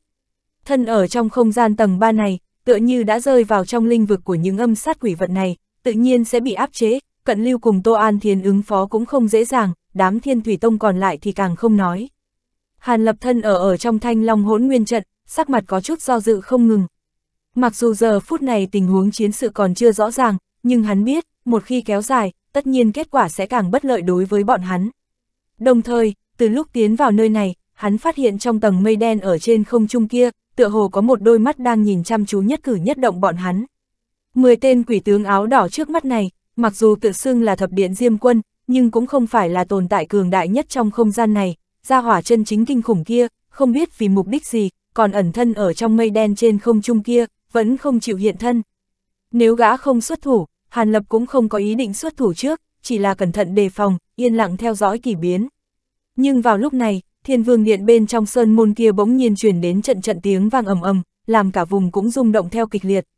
Hàn Lập ngưng thần nhìn lại bên kia, chỉ thấy toàn bộ nóc thiên vương điện bị lật tung lên, hai pho tượng thiên vương bên trong vậy mà chuyển động sống lại, phá ra bốn phía tường điện, nhanh chân phóng tới bên này. ầm ầm ầm, hai pho tượng thiên vương với áo giáp rách nát, cất bước chạy tới phía bên này, trong tay mang theo hai pho tượng đầu người, bị chúng xem như đống cát ném tới.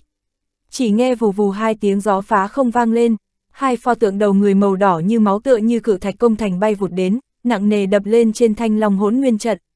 Một cỗ cự lực tràn trề tựa như thái sơn áp đỉnh bỗng nhiên đánh tới, chấn động làm đại trận thanh quang rung mạnh, suýt nữa sụp đổ. Mấy người duy trì pháp trận lập tức cảm thấy một cỗ trọng áp ép đến, thân thể nhao nhao run lên, trong miệng phun ra một ngụm máu tươi. Bọn họ vừa bị thụ thương, đại trận lập tức có dấu hiệu bất ổn, hư ảnh thanh long không ngừng lui tới trên đó cũng trở nên mờ đi, mà âm sát quỷ vật bốn phía lại càng thêm điên cuồng vọt tới. Chỉ một thoáng, trên thanh long hỗn nguyên trận cuồn cuộn khói đen, vô số âm sát quỷ vật nhao nhao tan rã, thanh quang trên đại trận cũng bắt đầu dần tiêu tán, mắt thấy sắp không chịu đựng nổi nữa. Hàn Lập nhìn hai pho tượng thiên vương kia đã tới gần, chân chúng đạp âm sát quỷ vật, hàng ma sử trong tay đã dơ lên cao, tựa hồ chuẩn bị ném mạnh tới. Nếu thanh long hỗn nguyên trận lại gặp trọng kích này, đừng nói pháp trận không cách nào duy trì, mà người thôi động trận pháp, chỉ sợ cũng sẽ bị pháp trận phản phệ, tử thương hầu như không còn. Đành vậy, người đã không chịu xuất thủ, vậy ta buộc ngươi phải xuất thủ. Hàn lập âm thầm thở dài một tiếng, một cánh tay giơ lên, bàn tay đột nhiên vung lên. Chỉ nghe một tràng tiếng xé gió truyền đến, trong hư không bỗng nhiên lóe lên 18 đạo lưu quang màu xanh, bay ra bên ngoài màn sáng màu xanh, như mưa rơi tứ tán xung quanh màn sáng. Xẹt xẹt xẹt, nương theo trận trận tiếng vang bén nhọn, 18 chuôi thanh trúc phong vân kiếm nhao nhao rơi xuống trên mặt đất, như đinh đóng rìa thanh long hỗn nguyên trận xuống mặt đất, vây toàn bộ pháp trận cùng người bên trong trận vào trong. Đây là, phó cốc chủ thấy thế, trong mắt lóe lên vẻ kinh nghi, quay đầu nhìn về phía Hàn Lập. Mấy người còn lại nhìn thấy phi kiếm sau khi rơi xuống đất vẫn không có động tĩnh gì, càng không hiểu chút nào. Những âm sát quỷ vật kia hoàn toàn không quan tâm những chuyện đó, vẫn như cũ phóng lên trên pháp trận trùng kích, rất nhanh liền bao phủ tất cả thanh trúc phong vân kiếm vào trong, mà toàn bộ linh lực đại trận tựa hồ đã tiêu hao hầu như không còn, mặc dù cũng có thể cản trở quỷ vật tụ tập, nhưng lại không cách nào diệt sát chúng giống trước đó. Chỉ thấy chằng chịt âm sát quỷ vật bò lên cao, cuối cùng che phủ toàn bộ màn sáng màu xanh vào trong. Hai pho tượng thiên vương thấy vậy, cũng ngừng động tác trên tay, không tiếp tục ném mạnh hàng ma sử nữa. Bọn hắn xong rồi, Tô An Thiến thấy một màn này, thần sắc khẽ biến, thở dài một tiếng. Trước đừng để ý tới bọn hắn, chúng ta chuyên tâm ứng phó trước mắt đã. Sắc mặt cận lưu ngưng trọng, chợt quát lên, lời gã còn chưa dứt, trên quảng trường phát sinh dị biến. ầm ầm, chỉ nghe một tiếng sấm rền vang lên, 18 đạo lôi trụ kim quang thô to như cột trụ từ trên mặt đất đột ngột phóng lên, bay thẳng trời cao. Trong một mảnh kim quang chói mắt, cuốn theo trận trận tia lôi điện to lớn, giống như thủy triều mãnh liệt tuôn ra, quét về bốn phương tám hướng, toàn bộ quảng trường trong khoảnh khắc bị nhuộm thành màu hoàng kim, chói mắt dị thường, khiến cho người không thể nhìn thẳng. Xoẹt thanh âm đại tác, nương theo trận trận tiếng quỷ khóc sói chu không ngừng vang lên, những nơi lôi điện màu vàng đi qua, mảng lớn khói đen bay lên, vô số âm sát quỷ vật bị kim quang cuốn vào, nhao nhao tiêu tán ra. Đây là, tịch tà thần lôi, trong đôi mắt đẹp của Tô An Thiến hiện lên một tia kinh ngạc, trong miệng thất kinh hô to. chương 1061, Đại La Quỷ Vương Âm sát quỷ vật đối đầu thanh long hỗn nguyên trận vốn rất hung hãn, không sợ chết chút nào nhưng lúc thấy tịch tà thần lôi cuồn cuộn đánh tới thì bản năng sợ hãi nổi lên, không thể ngăn chặn, bỏ chạy nhốn nháo, tán loạn.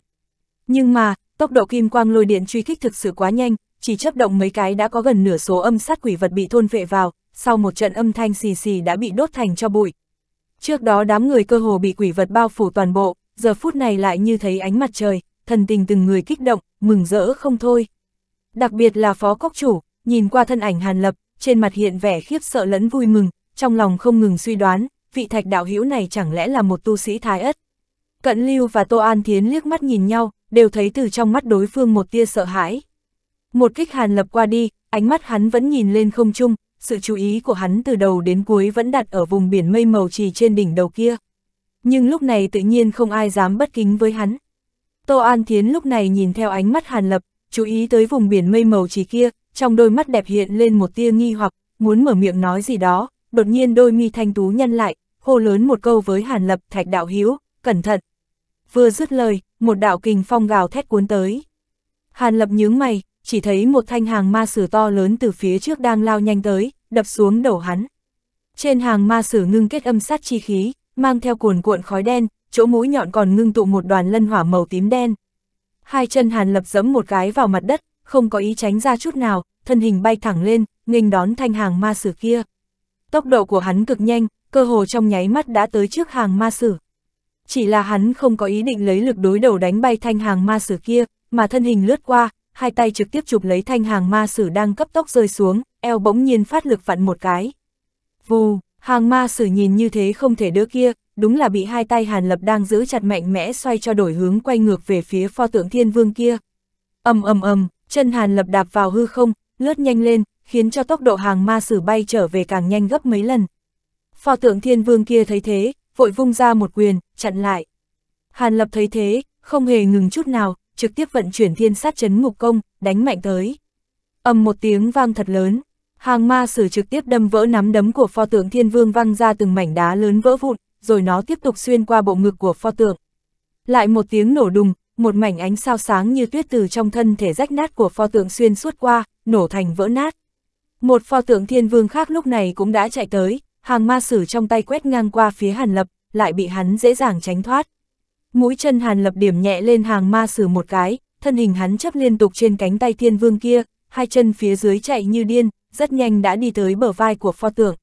Một tay hắn bám vào vành mũ giáp của pho tượng thiên vương, như vượn leo núi nhảy đến trước ngực pho tượng, vung lên một quyền nện xuống mặt nó. Chỉ nghe bục một tiếng vang lên, khuôn mặt pho tượng ác quỷ bị một quyền đập nát. Trên mặt pho tượng rào rào rơi xuống từng khối vỡ, biến thành vô số bão vụn, lộ ra một lỗ hổng cực lớn, bên trong ngưng tụ một đoàn âm sát chi khí vô cùng nồng đậm, phía trên lóe lên hai điểm quỷ hỏa, rung động không thôi. Khóe miệng Hàn Lập khẽ nhếch lên, lộ ra một vòng ý cười, một tay thọc vào trong chỗ trống, bỗng nhiên kéo một cái. Một tiếng rít như quỷ khóc vang lên, quỷ vật ẩn thân trong pho tượng thiên vương kia liền bị hắn kéo ra ngoài. Hàn lập lấy yêu quỷ vật từ trong đỉnh đầu pho tượng ra, ngửa mặt nhìn lên trời, cười to hắng giọng nói các hạ thật vẫn bảo trì bình thản. Nói xong, năm ngón tay hắn xòe ra, lòng bàn tay tuôn trào ra tia điện màu vàng, trực tiếp đánh quỷ vật kia thành cho bụi. Mây đen trên không trung vẫn như cũ không hề có động tính gì, chỉ là thần sắc 10 tên quỷ tướng áo đỏ kia đều phát sinh biến hóa nhìn về phía bên này, trong đó có cả sự tức giận không kềm chế được, muốn qua bên này truy sát. Tuy nhiên, đám người thiên thủy tông dù không nhanh chóng thắng được nhưng lại có thể bám chặt khiến chúng không thể nào thoát ra được. Nếu các hạ vẫn như cũ không chịu hiện thân, vậy ta buộc phải ra tay rồi. Ánh mắt hàn lập lạnh lẽo, trong miệng quát to một tiếng. Một tiếng này vang lên, tay hắn kết kiếm quyết, tay bỗng nhiên vẫy một cái. Trong nháy mắt 18 chuôi thanh trúc phong vân kiếm cắm trên mặt đất nhao nhao rung mạnh, một tiếng tranh minh vang lên, tất cả đều bay ngược lên, bay trở về bên cạnh Hàn Lập, bao quanh hắn đang đứng lơ lửng giữa không trung. Ngay sau đó, xung quanh những thanh trúc phong vân kiếm này sáng lên kiếm quang, từng chuôi thanh trúc phong vân kiếm liên tiếp hiện ra, đếm kỹ thì có khoảng chừng 36 thanh. Phi kiếm vần quanh, thân kiếm rung động không thôi, mặt ngoài từng thanh ẩn ẩn hồ quang điện màu vàng nhảy lên, vận sức chờ phát động. Đi, tay Hàn Lập biến đổi pháp quyết, quát lên một tiếng lớn. 36 chuôi thanh trúc phong vân kiếm nhận được lệnh, lập tức phát ra một trận thanh âm kiếm minh vui sướng, kéo theo thanh quang bay về phía mây đen trong không trung. Trên không trung, từng chuôi phi kiếm khuấy động lên kiếm quang sáng ngời, bên ngoài thân 36 chuôi kiếm tỏa ra vô số kiếm quang màu xanh lờ mờ, tụ tập lại với nhau, hóa thành một con thanh quang kiếm long khí thế bức người, lao thẳng vào mây đen. Ngao, như có từng tiếng long ngâm vang lên, thanh quang kiếm long đâm thẳng vào trong biển mây dày đặc, không thấy bóng dáng. Sau một trận yên tĩnh, một tiếng nổ rung khắp thiên địa vang lên. ầm ầm, một mảnh điện quang màu vàng chói mắt từ trong biển mây tuôn trào ra, vô số kim quang lôi điện lao nhanh tứ tán, hóa thành từng cây roi điện màu vàng to lớn vô cùng, không ngừng cuồng quét về bốn phương tám hướng, quất vụt không thôi. Âm sát quỷ vật trên quảng trường nhìn về phía không trung, từng tên sợ hãi không thôi, phát ra trận trận thanh âm nghẹn ngào, nức nở. Mười tên quỷ tướng áo đỏ cũng nhao nhao biến sắc, mặt lộ vẻ sợ hãi. Tịch tà thần lôi có tính khắc chế tự nhiên đối với vật âm sát như bọn chúng, tại thời khắc này hiển lộ không thể nghi ngờ. Tô An Thiến nhìn về phía thân ảnh Hàn Lập, trong đôi mắt đẹp lóe lên dị sắc rồi biến mất, sắc mặt cận lưu kế bên âm tình bất định, tựa hồ giật mình không nhỏ với thực lực Hàn Lập biểu hiện. Bọn họ vốn tưởng rằng vị thạch đạo hữu này, tối đa cũng chỉ là một tên tu sĩ kim tiên có thủ đoạn bảo mệnh không tầm thường mà thôi, nhưng nhìn uy lực triển lộ trước mắt, hiển nhiên đã không phải là thái ất cảnh ngọc tiên bình thường có thể so sánh. Hàn Lập nhìn lên không trung, lông mày cao lại, trong mắt ngược lại không có vẻ nhẹ nhàng như trước. Kiệt kiệt kiệt, một trận tiếng cười giận người cổ quái đột nhiên từ trong mây đen trên cao truyền ra. Vạn quỷ nghe tiếng, sao động không thôi, cung nghênh ô xào quỷ vương, quỷ tướng áo đỏ nhao nhao hô lên, Tô An Thiến và Cận Lưu nghe đến danh hiệu này, thần sắc bỗng nhiên biến đổi, đồng thanh hô, sao lại là hắn? Đối với câu hỏi của hai người, mọi người kể cả đám người Thiên Thủy Tông đều có vẻ mặt vô cùng nghi hoặc, bọn họ căn bản chưa từng nghe qua Kim Nguyên Tiên vực có một quỷ vật như vậy. Lại là hắn, không phải hắn ở trong tiên ngục, sao lại xuất hiện ở đây? Trong lòng Hàn Lập cũng nghi hoặc không thôi, đối với tục danh ô xào quỷ vương, kỳ thật hắn cũng không hoàn toàn xa lạ, năm đó lúc biết kỳ ma tử chấp trưởng tiên ngục, Hàn Lập từng thông qua luân hồi điện thu thập một ít tin tức liên quan, trong đó bao gồm một ít tù phạm lẫy lừng bị giam giữ trong tiên ngục. Vị ô xào quỷ vương này chính là một trong số đó. Lúc này, mây đen trên bầu trời cơ hồ nồng đậm che đẩy cả mặt trời như sôi trào lên, đầu tiên bốc lên một trận kịch liệt, tiếp theo bắt đầu cấp tốc co vào, cuối cùng triệt để ngưng tụ thành một đám sương mù đen như mực. Ánh mắt Hàn Lập ngưng tụ, nhìn về phía đoàn hắc vụ kia, nhưng nó tĩnh mịch như đêm, căn bản không thể thấy rõ cái gì, nhìn chăm chú trong thời gian lại, ngược lại có loại ảo giác bị thôn phệ. Luyện thần thuật trong cơ thể hắn vội vận chuyển, thần sắc lập tức khôi phục như thường. Tiểu tử, người rất không tồi, chỉ tiếc là còn chưa chết, nếu không trong thập điện Diêm La này, bản vương ngược lại có thể lưu cho ngươi một vị trí. Bất quá thế sự vô thường, nói không chừng sau một khắc nữa, ngươi sẽ chết a. Một trận thanh âm khàn khàn truyền ra, trong đám sương mù đen kịt kia, một bóng người đi ra. Hàn lập tập trung nhìn vào, chỉ thấy đó là một tên thư sinh trung niên thân hình cao lớn, mặc áo đạo, đầu đội khăn vuông đang bước ra. Dung mạo của gã nhìn có chút phổ thông, mặt mày thong dong mang theo vẻ một người đọc sách, trên thân sạch sẽ không thấy chút quỷ khí nào, dù cho ai nhìn qua cũng sẽ chỉ coi gã là thư sinh tay trói gà không chặt, sao lại liên quan cùng vạn quỷ chi vương. Nhưng trong lòng Hàn Lập lại rõ ràng, người này chính là ô xào quỷ vương không thể nghi ngờ. Tục truyền, năm đó ô xào quỷ vương kia khi còn tại nhân thế cũng không phải là tu sĩ, chẳng qua là một tên học trò nho ra ở vương triều phàm tục mà thôi, chỉ là gã thi hoài mà không đỗ, dần dần sinh ra oán hận với vương triều đã xuống dốc kia. Sau đó, vương triều phàm tục kia gặp phải thiên tai, thời cuộc bất ổn, ô sao liền thuận thế mà lên, tạo lập quân đội khởi nghĩa, dẫn đầu phản quân đánh đầu thắng đó, rất nhanh liền chiếm hơn phân nửa vương triều. Chỉ là theo càng ngày càng nhiều người gia nhập, nhân số phản quân tăng vọt, lương thảo thiếu thốn nghiêm trọng. Vì giải quyết chuyện lương thảo, ô xào không biết nghe được kế sách từ nơi nào, lại phát rồ dùng cơ thể con người làm thức ăn. Cử động lần này vừa ra, gần nửa nhân khẩu vương triều biến thành lương thực trong miệng phản quân ô xào, mấy chục tòa thành chỉ bị chúng ăn sạch, xương trắng trồng lên cơ hồ cao bằng tường thành. Nếu không phải tiên gia tông môn trên trần thế của vương triều kia không chấp nhận nổi, đã vi phạm chuẩn tắc không được can thiệp thế tục mà ra tay thì chỉ sợ không chỉ vương triều thế tục kia bị vận rủi, mà ngay cả mấy thủ đô của các nước khác cũng bị ăn hết toàn bộ. Lại nói ô xào này chiến bại tại Tham Lang Cốc, sau đó bỏ mình, tinh hồn ngàn năm không tiêu tan, đơn giản thông qua thôn phệ vô số tàn hồn đã biến thành lệ quỷ hung hãn, tu vi tăng lên từ kết đan, nguyên anh đến hóa thần, cũng không biết dùng thủ đoạn gì, lại tránh khỏi vô số lần thiên kiếp lớn nhỏ, một đường đột phá tới luyện hư, hợp thể, thậm chí đại thừa. Sau đó lại vì các loại cơ duyên tạo hóa, thành tựu quỷ tiên, từng bước tu đến đại la cảnh, trở thành một tên đại la quỷ vương. Bởi vì tính cách gã tàn nhẫn hung bạo, hiếu sát thành tính, tự nhiên dẫn tới toàn bộ tiên giới một mảnh gió tanh mưa máu. Cuối cùng thiên đình phải xuất thủ, chóc nã bắt gã lại, trấn áp trong tiên ngục.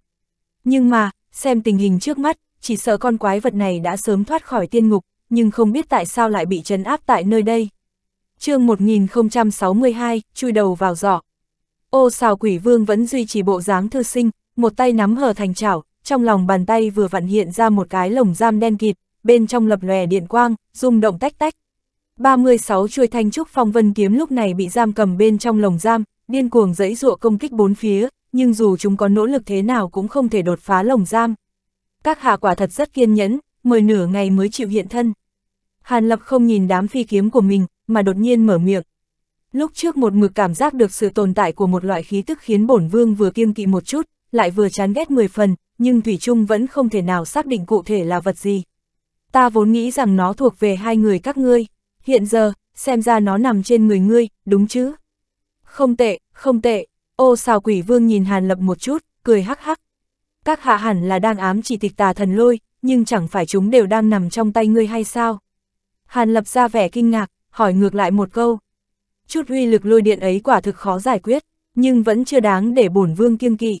Từ lúc bắt đầu tu luyện đến nay, có sóng to gió lớn nào bổn vương chưa từng gặp. Số lượng giám sát tiên sứ bị bổn vương giết chết nhiều không đếm xuể. Ô xào quỷ vương nhíu mày nói, quỷ vương vừa dứt lời, sau lưng hàn lập liền xuất hiện dị tượng. Chỉ thấy hư không sau lưng hắn đột nhiên nứt ra thành một cái khe dài hẹp, từ bên trong tuôn ra sương mù đen kịt nồng nặc quỷ khí, vô số xúc tu ác quỷ và quỷ trảo dữ tợn chen chúc nhau chui ra, trong khoảnh khắc đã phong tỏa tất cả đường lui của Hàn Lập, bắt đầu bám lên người hắn. Nhưng Hàn Lập vẫn không mảy may nhúc nhích, toàn thân chợt có tiếng nổ vang ầm. Âm, lôi điện kim sắc tuôn ra như thác lũ, cả người hắn như khoác lên một lớp áo giáp trói lọi ánh vàng. Đám xúc tu ác quỷ chỉ cần chạm nhẹ vào áo giáp vàng thì sẽ lập tức biến thành khói đen, nhao nhao co rụt lại về phía sau. Hàn Lập xoay người lại rồi tung ra một quyền nhắm vào tầng sương mù đen kịt. Chỉ thấy huyền khiếu toàn thân hắn đồng loạt sáng lên, nắm đấm nở rộ tinh quang sán lạn, lớp sương mù đen kịt dưới hào quang chiếu dọi biến thành một mảnh trắng xóa như tuyết, đám xúc tu dày đặc dường như bị tinh quang làm tổn thương, nhao nhao rút lui trốn vào trong sương mù. Ô xào quỷ vương thấy vậy nhưng vẫn cười cợt tỏ vẻ khinh thường, một tay khống chế thanh trúc phong vân kiếm đang không ngừng dãy ruộng, tay kia dương ngũ chỉ uốn cong thành chảo, nắm chặt hư không. Khe nước đen xì sau lưng hàn lập đột nhiên vỡ toang, khói đen mù mịt như thủy triều từ bên trong khuếch tán ra. Đồng thời, thân ảnh ô xào quỷ vương đột nhiên hư hóa, biến mất tại chỗ. Trận khói đen nồng đậm tan vào màn trời, Hàn Lập liền cảm thấy bốn phía tối sầm lại, tựa như trong nháy mắt từ ngày biến thành đêm, không còn nhìn thấy cảnh vật xung quanh, ngay cả thanh âm chém giết của đám người Thiên Thủy Tông và 10 tên quỷ tướng hồng bào cũng không thể nghe thấy. Lông mày Hàn Lập nhíu chặt, vội vàng khởi động luyện thần thuật, phóng thích thần thức ra xung quanh dò xét. Ồ, quái lạ, tiểu tử ngươi thân mang thần lôi, rõ ràng còn kiêm tu cả luyện thần thuật, hơn nữa đẳng cấp không thấp, tiếc là chúng đều vô dụng trước bổn vương. Còn nữa, bổn vương càng ngày càng cảm thấy hứng thú với nhà ngươi đấy. Thanh âm của ô xào quỷ vương tựa như gió thoảng mây bay, hư ảo mờ mịt. Tại sao có thể như vậy? Hàn lập khẽ quát, vô cùng kinh ngạc. Với năng lực của luyện thần thuật hiện giờ của hắn vậy mà cũng không tài nào định vị chính xác ô xào quỷ vương. Đúng lúc này, không gian xung quanh Hàn Lập xuất hiện một luồng ba động kỳ quái, phát ra tầng tầng huyết quang yêu dị, mỗi đạo huyết quang lại ngưng tụ thành một thân ảnh thư sinh, thình lình đều là ô xào quỷ vương.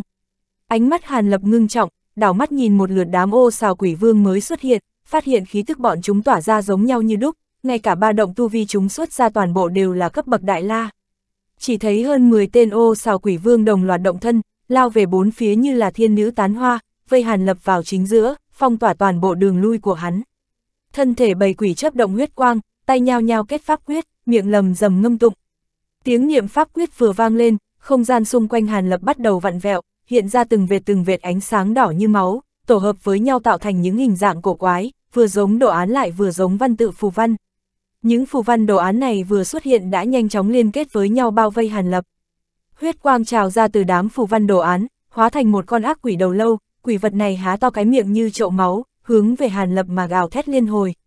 Từ trong miệng ác quỷ chợt phun ra một luồng huyết quang, từ bốn phương tám hướng lao tới, bao trùm thân thể Hàn Lập. Toàn thân hắn lập tức cứng đờ, huyết dịch trong cơ thể vậy mà đột nhiên ngưng kết, tiên linh lực và lực lượng tinh thần trong thể nội vốn đang vận chuyển lập tức đình trệ. Đồng thời, trong thức hải Hàn Lập bỗng xuất hiện một trận huyết lãng, có một thân ảnh thư sinh ngưng tụ từ huyết quang đang cưỡi sóng mà đi, hướng về chỗ sâu trong thức hải của hắn. Gã thư sinh đi đến đâu, thức hải Hàn Lập bị huyết thủy xâm nhiễm đến đó, biến thành màu huyết hồng.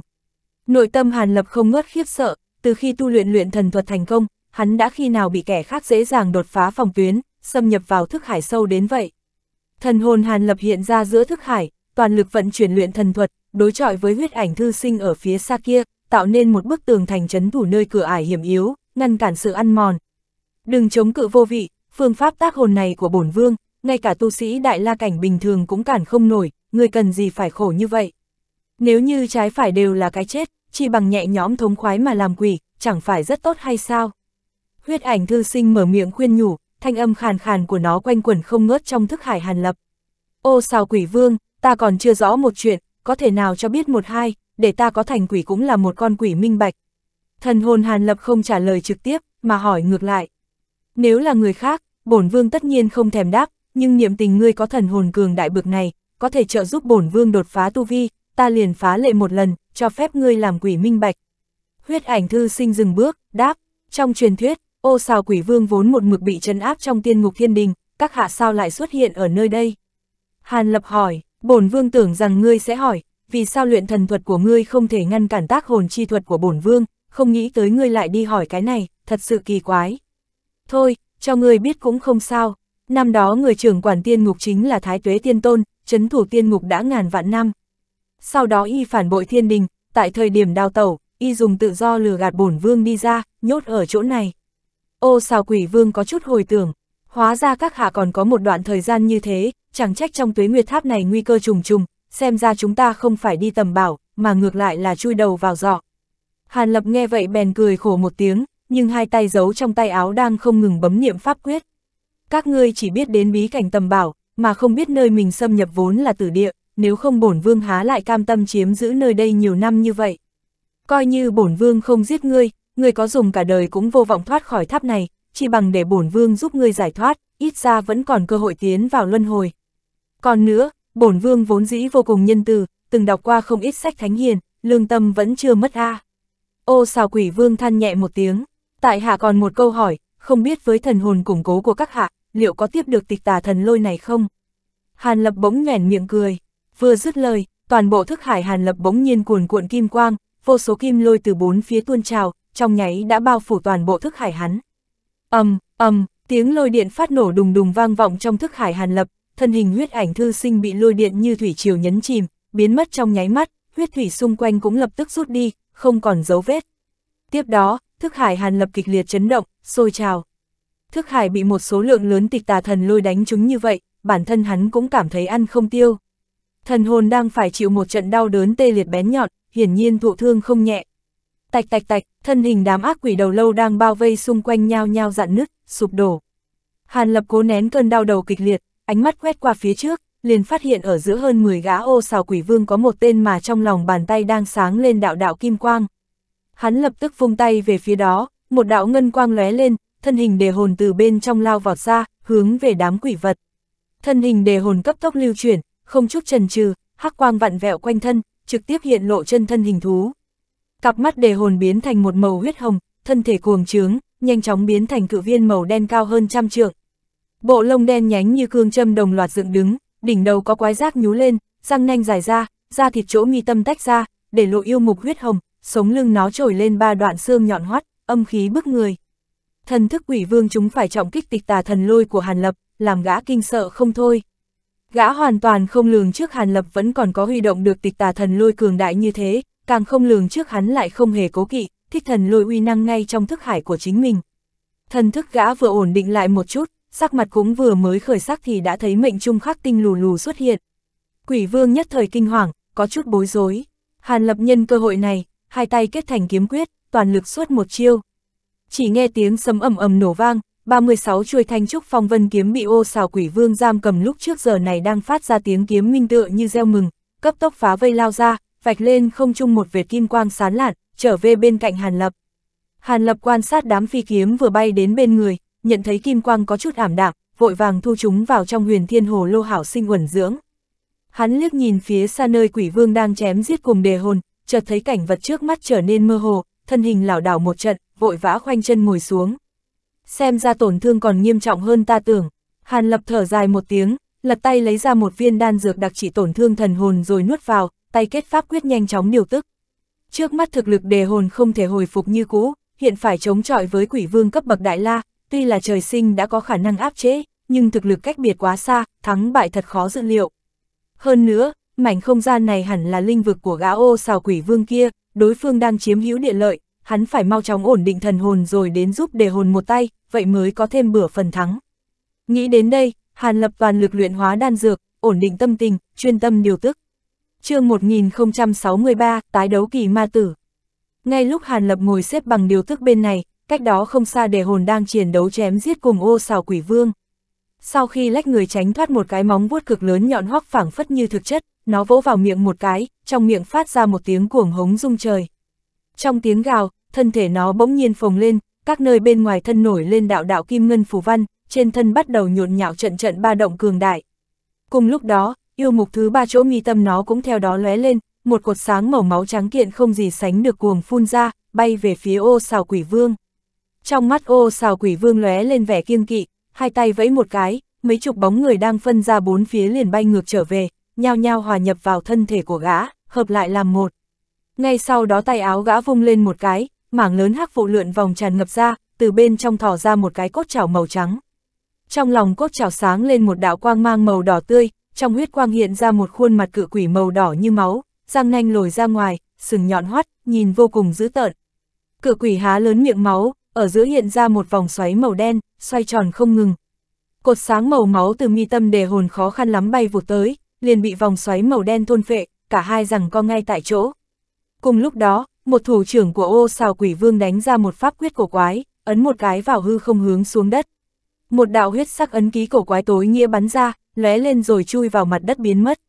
Ngay sau đó, dưới thân đề hồn sáng lên một vòng hào quang màu đỏ như máu, tiếp theo từ bên trong hiện ra một huyết trì, nhanh chóng lan tràn ra bốn phương tám hướng. Đề hồn phát hiện có chỗ không đúng, vừa muốn lách mình tránh đi, lại phát hiện phía dưới trống rỗng sinh ra một cỗ hấp lực to lớn khó có thể tin được.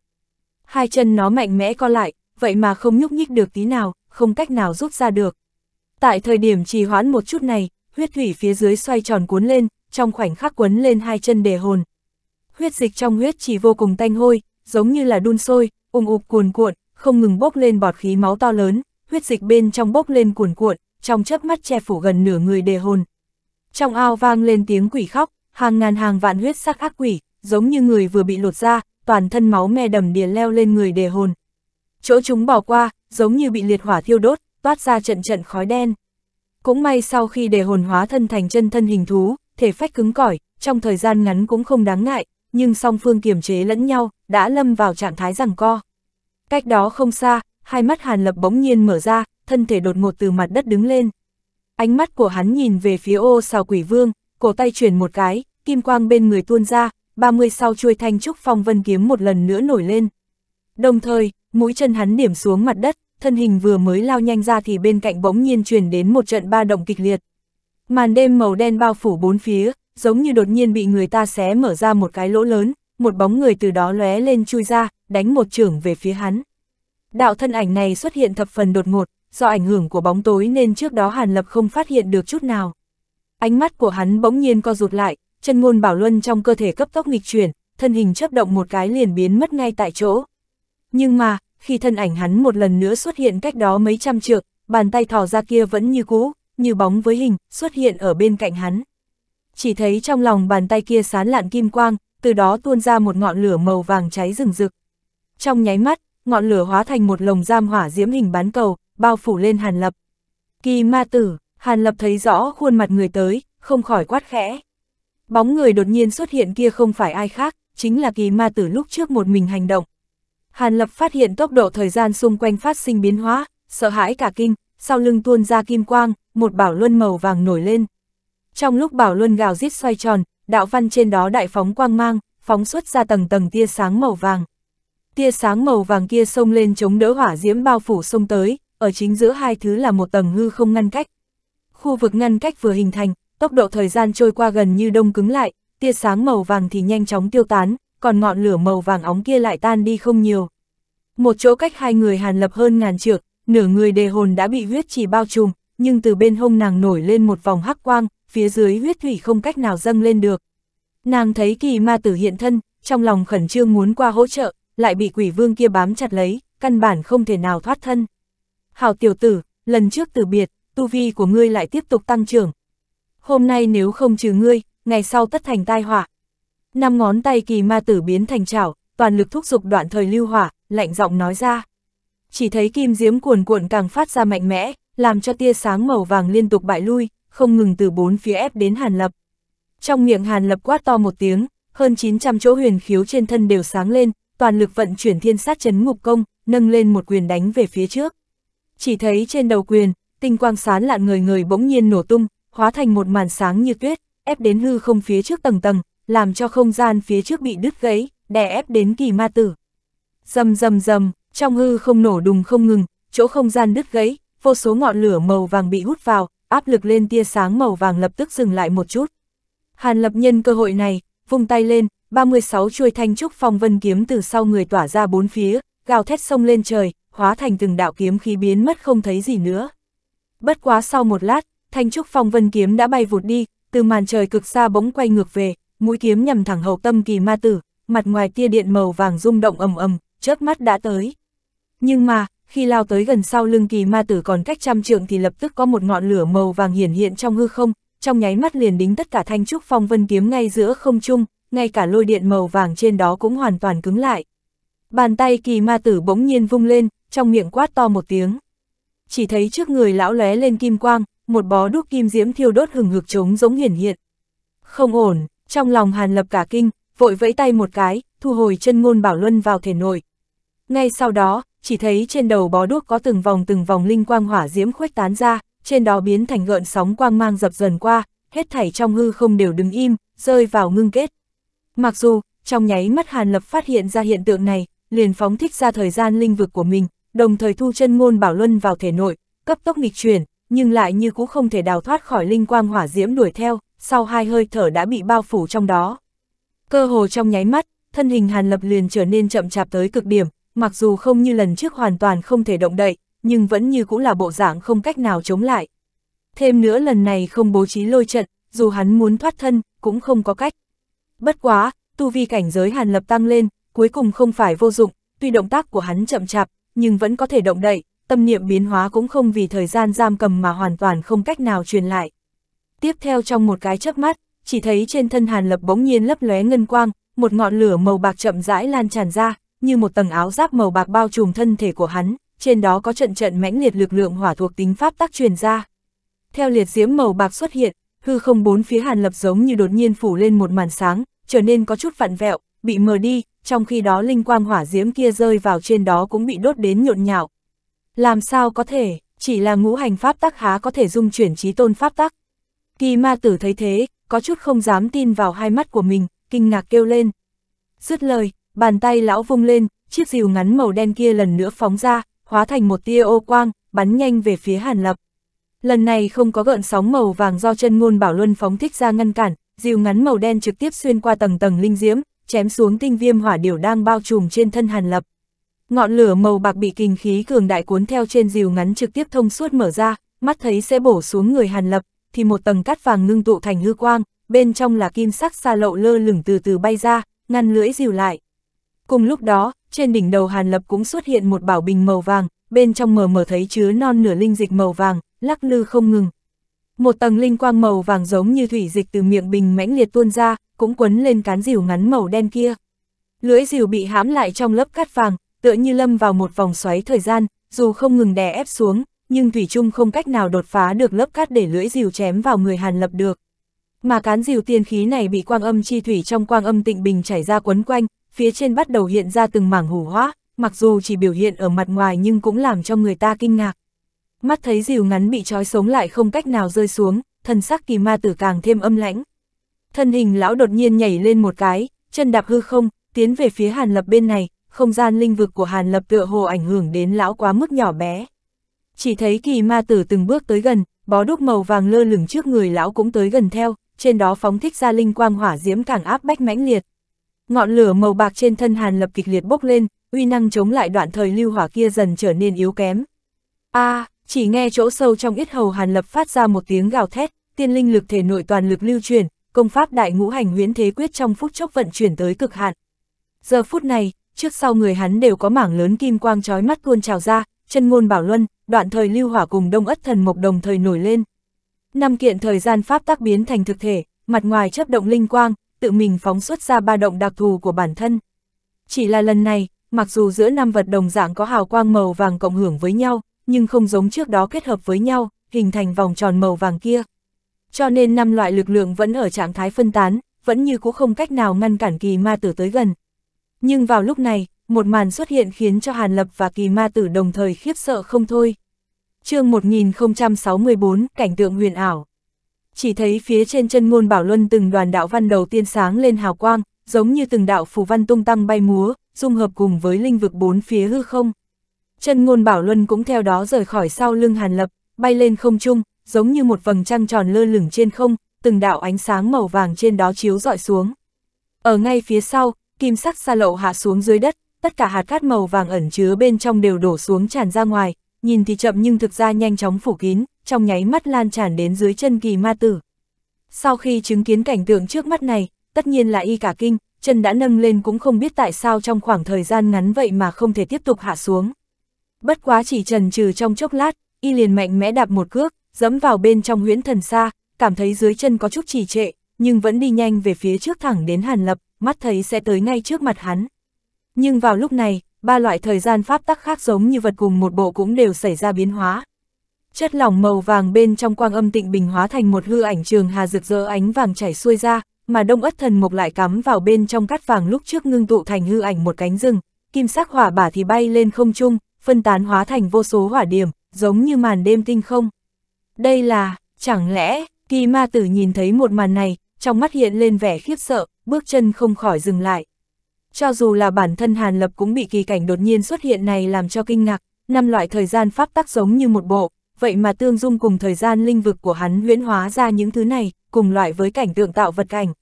Không gian linh vực Hàn Lập vừa biến hóa xong, toàn bộ thời gian pháp tắc bên trong linh vực chuyển động, nhanh chóng trở nên mãnh liệt gấp mấy lần, bên trong nhộn nhạo từng đợt gợn sóng màu vàng, chống đỡ linh quang đoạn thời lưu hỏa của kỳ ma tử, sức mạnh ngăn cản vậy mà đã tăng thêm vài phần. Nhưng mà cuối cùng cảnh giới giữa hai người tranh lệch cực lớn, kỳ ma tử thủy trung chiếm lấy thượng phong. Rất tốt, quả nhiên tiểu tử ngươi đã đạt được chân truyền đại ngũ hành huyễn thế quyết của sư tôn, vậy mà đã tu luyện tới mức khiến cho linh vực cộng hưởng. Lần này tuyệt đối sẽ không cho ngươi đào thoát lần nữa, công pháp này là ta buộc phải có. Vẻ khiếp sợ trên mặt kỳ ma tử qua đi, thay vào đó là một cỗ hưng phấn khó nói lên lời. Vừa dứt lời, một tay y bấm niệm pháp quyết, ngâm tụng khẩu quyết, thúc giục bó đuốc màu vàng phía trước phát ra ánh sáng mãnh liệt, một tay triệu hồi đoàn phủ màu đen, đánh phủ đầu xuống Hàn Lập. Lúc này Hàn Lập muốn tránh cũng không tránh được, dưới tình thế cấp bách, đành phải vận chuyển đồng thời đại ngũ hành huyễn thế quyết cùng thiên sát chấn ngục công trong cơ thể tới cực hạn, trong nháy mắt liền thiêu đốt chân linh huyết mạch trong người biến thành hình dạng ba đầu sáu tay, đối chiến một kích này. Nhưng vào lúc này, dị biến phát sinh, mặt ngoài năm vật thời gian pháp tắc giống như một bộ kia lại đột nhiên tỏa ra quang mang mãnh liệt, từng sợi tinh thi thời gian pháp tắc từ trong đó bắn ra, tại hư không dung hợp lẫn nhau, giống như bốc cháy lên, tỏa ra một đoàn ánh sáng ngũ sắc hòa hợp chói mắt. Kỳ ma tử cảm nhận được ánh sáng ngũ sắc hòa hợp bao phủ xuống, thân sắc đại biến, biểu hiện trên mặt cứng đờ, toàn bộ người đều đứng nguyên tại chỗ, giống như Hàn Lập lúc trước không cách nào nhúc nhích được. Trong mắt Hàn Lập hiện lên một tia kinh ngạc, đã thấy ánh sáng ngũ sắc hòa hợp chiếu dọi xuống phía dưới, trên thân kỳ ma tử bắt đầu hiện ra tầng tầng hư ảnh, giống như huyễn hóa ra vô số hư ảnh giống y như đúc. Nhưng mà theo từng bóng người không ngừng tách ra, quang mang hư ảnh xuất hiện đầu tiên bắt đầu chấp động, thân thể hư hóa giống như mảnh gỗ mục nát, hóa thành một mảng bụi mù màu xám, tiêu tán đi. Mà theo từng bóng người một tiêu tán, thật thể kỳ ma tử ở chính giữa chợt bắt đầu phát sinh biến hóa rất nhỏ, cùng lúc đó, khí tức trên thân y cũng đồng dạng phát sinh một tia biến hóa. Hàn Lập không biết là cơ duyên xảo hợp như thế nào mới ra đời dị cảnh trước mắt, sợ mình tùy ý cử động một cái, sẽ phá vỡ cảnh tượng xuất hiện trước mắt. Vì vậy, hắn không dám làm việc gì vượt quá việc bấm niệm pháp quyết, chỉ toàn lực thúc giục đại ngũ hành huyễn thế quyết. Chỉ có hai mắt hắn thủy chung không rời khỏi trên thân kỳ ma tử. Sau một lát quan sát, Hàn Lập ngạc nhiên phát hiện, theo từng đạo hư ảnh tiêu tán, tu vi của kỳ ma tử dần dần yếu bớt. Không, phải nói là niên kỷ của y đang dần dần giảm bớt. Từng đạo bóng người hư ảo kia, phảng phất như là kỳ ma tử đã trải qua vô tận năm tháng, bị ánh sáng ngũ sắc hòa hợp chiếu dọi xuống dưới, từng điểm tiêu tán, phảng phất như y bị kéo nhập vào bên trong một cái cạm bẫy thời gian, thân thể đang không ngừng quay ngược trở về trạng thái vài vạn năm, hơn chục vạn năm, thậm chí trăm vạn năm lúc trước.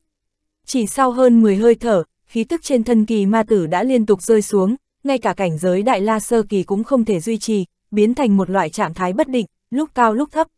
Làm sao có thể, bất quá chỉ là hư ảnh đồ vật vì sao lại có uy năng như thế.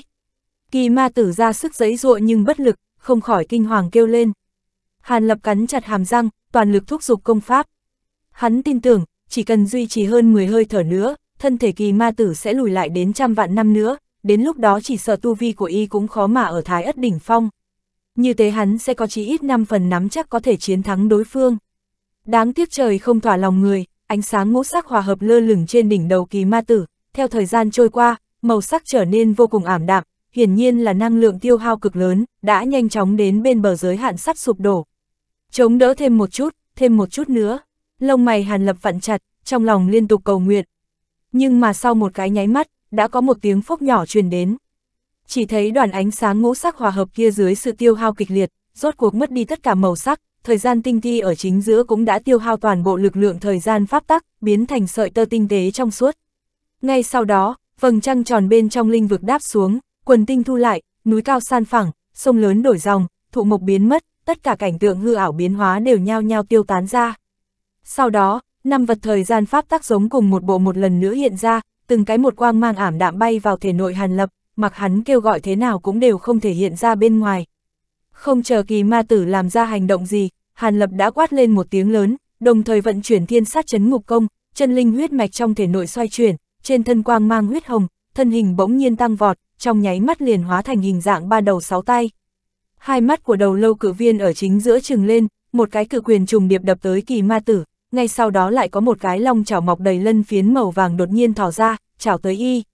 Ngay khi kỳ ma tử được khôi phục tự do, bất chấp cảnh giới trên thân bị rơi xuống thấp, vội mạnh mẽ đưa tay bấm ra một pháp quyết cổ quái, mạnh mẽ đẩy ra một trường, hỏa diễm trên bó đúc màu vàng kia liền cháy lên mạnh mẽ. Một ngọn lửa màu vàng trên bó đuốc lập tức hóa thành một con trường long hỏa diễm, bay thẳng đến Hàn Lập. Trường long hỏa diễm ngưng tụ thời gian pháp tắc chi lực nồng đậm trên thân, lấy một loại tốc độ không thể tưởng tượng xuyên qua cự quyền và long chảo của Hàn Lập xuất phát sau mà đến trước, đánh tới người hắn. Những nơi kim diễm hỏa long đi qua, thời gian trong trong hư không nháy mắt bị ngưng kết, uy lực yếu hơn so với lúc y duy chỉ cảnh giới đại la nhưng một khi Hàn Lập chúng chiêu, nhất định thân thể lâm vào ngưng trệ, tuyệt đối không khả năng tái chiến. Bất quá, đối với tình huống dạng này, Hàn Lập đã sớm có phòng bị, trong nháy mắt khi kim diễm hỏa long xuất hiện ở đằng kia, trước người hắn liền có một đạo quang mang xanh biếc sáng lên, chính là huyền thiên hồ lô đã mở nắp, chờ sẵn. Nơi miệng hồ lô là một đoàn lục sắc quang mang xoay tròn liên tục, nhưng thời điểm kim diễm hỏa long tới gần cũng trở nên chậm chạp, tuy nhiên Thủy Trung vẫn không hoàn toàn đình trệ. Đợi đến thời điểm kim diễm hỏa long tới gần, vẫn là không thể tránh né bị cuốn vào trong đó, trực tiếp hút hết vào trong. Hồ lô chấn động kịch liệt, miệng hồ lô tự hành phong bế, nhưng thân hồ lô vẫn không ngừng rung lên. Hàn Lập không rảnh bận tâm tới dị trạng của hồ lô, lập tức nắm lấy thời cơ thoáng qua tức thì này, một quyền một chảo đồng thời vung lên đánh ra ngoài, lực lượng tinh thần trong thể nội cũng nương theo đó không hề giữ lại nữa, tuôn trào ra. Kỳ ma tử dưới ảnh hưởng ánh sáng ngũ sắc hòa hợp, vốn là cảnh giới bất ổn, lại thêm vừa rồi phát ra một kích bí thuật, chẳng biết tại sao bị tên Hàn Lập hiểu không thấu này thu nhập trong hồ lô, trong lúc hoảng hốt căn bản không kịp phản kích, đã bị một cỗ man lực giống như bài sơn đảo hải trước mặt đánh trúng. ầm vang lên một tiếng thật lớn, một mảng quang mang tinh thần bỗng nhiên nổ tung, bên trong mảnh vụn tinh quang bay đầy trời, thân ảnh kỳ ma tử bị trọng kích, bay rớt ra ngoài. Xương cốt quanh thân y rung động đôm đốp, trong miệng không kìm được phun ra một ngụm máu tươi, ánh mắt oán hận nhìn chằm chằm vào Hàn Lập, thân thể y bay thẳng đến chỗ màn đêm màu đen do ô xào quỷ vương tế ra kia, rồi mới rơi xuống, nện trùng điệp trên mặt đất. Thân hình Hàn Lập nhảy lên, truy kích về phía kỳ ma tử, thân hình y lại lóe lên, bay nhanh về phía xa, trong nháy mắt biến mất không thấy gì nữa. Cách đó rất xa, đám người thiên thủy tông đang chém giết cùng 10 tên hồng bào quỷ tướng thậm chí không thể thấy rõ thân ảnh y, chỉ thấy tại nơi màn đêm màu đen vừa xé mở đang chậm rãi khép kín lại, bên trong màn đêm mơ hồ có thể nhìn thấy một thân ảnh cự ma ba đầu sáu tay. Ánh mắt Hàn Lập từ đằng xa chậm rãi thu hồi, tâm niệm hơi động một chút, 36 chuôi thanh trúc phong vân kiếm cùng tinh viêm hỏa điều lúc trước bị đoạn thời lưu hỏa giam cầm tất cả đều bay ngược mà quay về, đi tới bên cạnh hắn. Hắn xoay chuyển ánh mắt nhìn về phía bên kia, đề hồn đang chém giết cùng ô xào quỷ vương, toàn thân hiện đầy vết thương nhìn thấy mà giật mình, thoạt nhìn đã rơi xuống hạ phong. Giờ phút này ô xào quỷ vương đã sớm không còn là hình tượng thư sinh nữa, mà hiện ra chân thân là cự quỷ cao mấy trăm trượng, đang mặc một bộ huyết sắc áo giáp, bên ngoài thân che phủ một kiện hồng bào sắc đỏ, toàn thân là một mảng huyết hồng. Trên đầu nó mọc lên sừng nhọn, khóe miệng lộ răng nanh thò ra ngoài, vẻ mặt dữ tợn tràn đầy hung lệ, thời điểm lỗ mũi thở ra, liền có hai đạo huyết vụ chảy tràn ra ngoài, mùi huyết tinh toàn thân đại thịnh, làm cho người khác nhìn thấy buồn nôn. Trong tay ô xào quỷ vương đang nắm một thanh tam xoa kích bằng bạch cốt cực lớn, trên thân khắc rõ từng đạo huyết sắc phù văn, chỗ mũi nhọn lại có đạo đạo khói mù màu đen quấn quanh, đâm thẳng xuống mi tâm đề hồn. Mi tâm đề hồn dựng thẳng tuôn trào ra huyết quang, ào ào liên tục, không ngừng va chạm thanh tam xoa kích, bắn ra mảng lớn huyết quang tung tóe. Đi, thủ trưởng Hàn lập phung lên, 36 chuôi thanh trúc phong vân kiếm bắn ra đầu tiên, ở giữa không trung sáng lên vô số kiếm quang, giống như cơn mưa kiếm màu vàng từ trên không trung rơi thẳng xuống, hung hăng chém về phía ô xào quỷ vương. chương 1065, dùng trí, ầm ầm, một mảnh điện quang màu vàng từ 36 chuôi thanh trúc phong vân kiếm điên cuồng tuôn ra, trộn lẫn cả kiếm khí đầy trời bao phủ ô xào quỷ vương vào trong. A, một trận gào thét cuồng bạo từ trong miệng quỷ vương truyền ra, trên thân gã xuất hiện dày đặc vết thương, phía trên chấp động huyết quang, bốc lên khói đen. Gã quay đầu nhìn về phía Hàn Lập, thấy hắn đang phi nhanh tới, chấp nhoáng đánh tới mình, lập tức há miệng phun một cái. Vù một tiếng vang lên, một cỗ hắc diễm nồng đậm từ trong miệng gã tuôn ra, trong nháy mắt hóa thành một bức tường lửa màu đen, phô thiên cái địa đánh tới. Mắt Hàn Lập sáng lên, bất phi sở động, căn bản không hành động gì cả. Phần phật, bên người hắn bỗng có một đạo ngân quang hiện lên, hóa thành một con hỏa điểu màu bạc vô cùng to lớn, trên đầu có thất thải hỏa diễm, hai cánh lửa khổng lồ mở ra chừng mấy ngàn trượng, vung lên tựa như một thanh cự nhận màu bạc, trực tiếp chém bức tường lửa màu đen thành hai phần. Hỏa điều màu bạc nhanh như tên bắn vụt tới chỗ rách, hai cánh tuôn ra hỏa diễm đỡ lấy, mở ra ở giữa bức tường lửa thành một con đường rộng rãi. Thân ảnh Hàn Lập chợt lóe lên vọt qua, trên thân chấp động điện quang màu bạc, vận chuyển lôi bằng chi lực, tức thì thân thể khổng lồ trong nháy mắt xuất hiện bên cạnh ô xào quỷ vương, một quyền đánh tới. ầm một tiếng vang thật lớn, ô xào quỷ vương bị trọng kích, thân thể cao lớn nghiêng về phía bên trái, bạch cốt tam xoa kích trong tay cũng chịu không được nghiêng theo. Xeo một tiếng, huyết sắc quang mang trong con mắt nằm dọc của đề hồn không bị ngăn cản nữa, nên cắm thẳng vào đầu vai quỷ vương. Trong miệng ô xào quỷ vương phát ra một tiếng gào thét thê lương, chỗ đầu vai bị huyết quang bắn trúng, áo giáp trực tiếp nóng chảy ra, bên trong bị đốt xuyên ra thành một lỗ máu cực lớn, ồ ạt chất lỏng màu đen chảy ra. Các ngươi muốn chết, ta sẽ nghiền xương các ngươi thành cho. Chỉ nghe trong miệng gã kêu to một tiếng bén nhọn, toàn thân gã đại thịnh ô quang, tầng tầng hắc quang từ đó tuôn trào ra, vô số bóng đen ác quỷ không ngừng từ bên trong bắn ra, phóng đến phía Hàn Lập và đề hồn cắn xé. Bóng đen ác quỷ như thực như hư, chợt tụ chợt tán, lúc Hàn Lập vung quyền đánh xuống, chúng liền biến thành xương khói tiêu tán ra, căn bản không cách nào đập chúng. Hàn Lập đành phải triệu hồi thanh trúc phong vân kiếm vần quanh bên người, không ngừng phóng thích tịch tà thần lôi xua tan chúng. Nhưng mà chẳng biết tại sao những quỷ ảnh này lại không sợ tịch tà thần lôi, sau khi bị chém chúng, trong thời gian ngắn tiêu tán, lại rất nhanh ngưng kết, ngóc đầu trở lại. Hơn nữa, mỗi khi chúng đến cận thân, Hàn Lập liền cảm giác có một cỗ âm u chi lực tựa như đến từ U Minh, xuyên thấu vào thân thể, trực tiếp rót vào trong xương tủy hắn. Theo số lần không ngừng gia tăng, trong cơ thể hắn tích lũy âm u chi lực càng ngày càng đậm, sâu trong thân thể có một cỗ băng hàn thấu xương quỷ dị xuyên thấu ra. Bên này hắn như vậy, đề hồn bên kia càng thêm nghiêm trọng, động tác của nàng đã trở nên chậm chạp, bắt đầu theo không kịp động tác của ô xào quỷ vương. Nếu tiếp tục như vậy, hai người bọn họ sẽ thua không thể nghi ngờ. Nhưng vào lúc này, lông mày hàn lập bỗng nhiên giãn ra, tựa hồ nghĩ tới điều gì.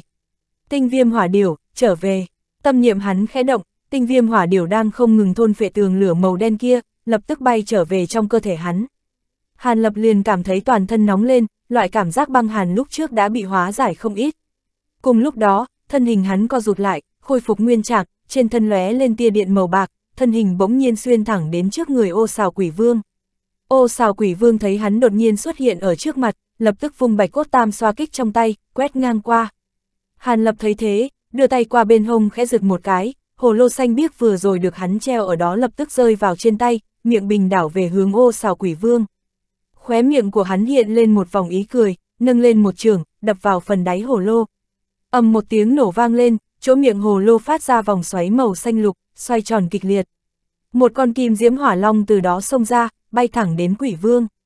Con hỏa long này chính là của kỳ ma tử lúc trước dùng để tấn công Hàn Lập, chỉ có điều nó lăn lộn bên trong huyền thiên hồ lô khá lâu khiến hình thể và tốc độ đã giảm đi rất nhiều. Tuy nhiên, những nơi nó đi qua, trong hư không vẫn lan tràn ra từng tầng từng tầng ba động thời gian pháp tắc chi lực, khiến cho hết thảy động tĩnh bốn phía trở nên cực kỳ chậm chạp. Ô xào quỷ vương đã kịch chiến với đề hồn rất lâu, lại bị Hàn Lập quấy rối, vốn đã tiêu hao không ít, giờ mắt thấy hỏa long quỷ dị kia tập kích đến thì vội nâng bạch cốt tam xoa kích trong tay lên, ném đi. Tốc độ hỏa long nhanh đến quỷ dị, bạch cốt tam xoa kích chưa bay được bao xa, đã va chạm với hỏa long. Chỉ nghe ầm một tiếng dị hưởng, kim diễm hỏa long ầm vang nổ bể ra, từ đó tuôn ra linh diễm màu vàng, trong nháy mắt bao phủ ô xào quỷ vương vào trong. Thời gian Pháp, ô xào quỷ vương ở bên trong vụ nổ, cảm thấy một cỗ lực lượng quỷ dị đè lên người, trong nháy mắt não hải rơi vào trống rỗng, không những cả người bị đính nguyên tại chỗ, ngay cả tư duy cũng tạm ngưng lại. Sau một lát, lực lượng do kim diễm hỏa long nổ tung ra bắt đầu co vào, tất cả quang mang linh diễm dần dần co vào, khu vực bị nó ảnh hưởng cũng dần dần co lại. Chờ đến lúc thời gian pháp tắc chi lực bên trong linh diễm giảm bớt đi một nửa, ý thức trong đầu ô xào quỷ vương lập tức khôi phục, ý niệm trong đầu còn đang dừng lại tại thời gian pháp tắc chi lực. Thì thân ảnh hàn lập từ xa bỗng nhiên xuất hiện ở trước mặt gã. Thiên sát chấn ngục công trong cơ thể toàn lực vận chuyển, 36 chuôi thanh trúc phong vân kiếm trong tay hợp lại làm một, kiếm quang và lôi điện đồng thời bắn ra, quét ngang về phía cổ ô xào quỷ vương.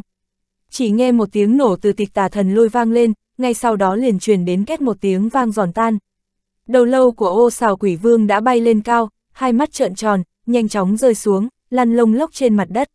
Chỗ cổ bị đứt gãy không hề có huyết dịch chảy ra, chỉ có vô số hồn phách ác quỷ lờ mờ không ngừng tuôn trào, như bầy quả rời tổ, phát ra trận trận tiếng vang rầm rầm.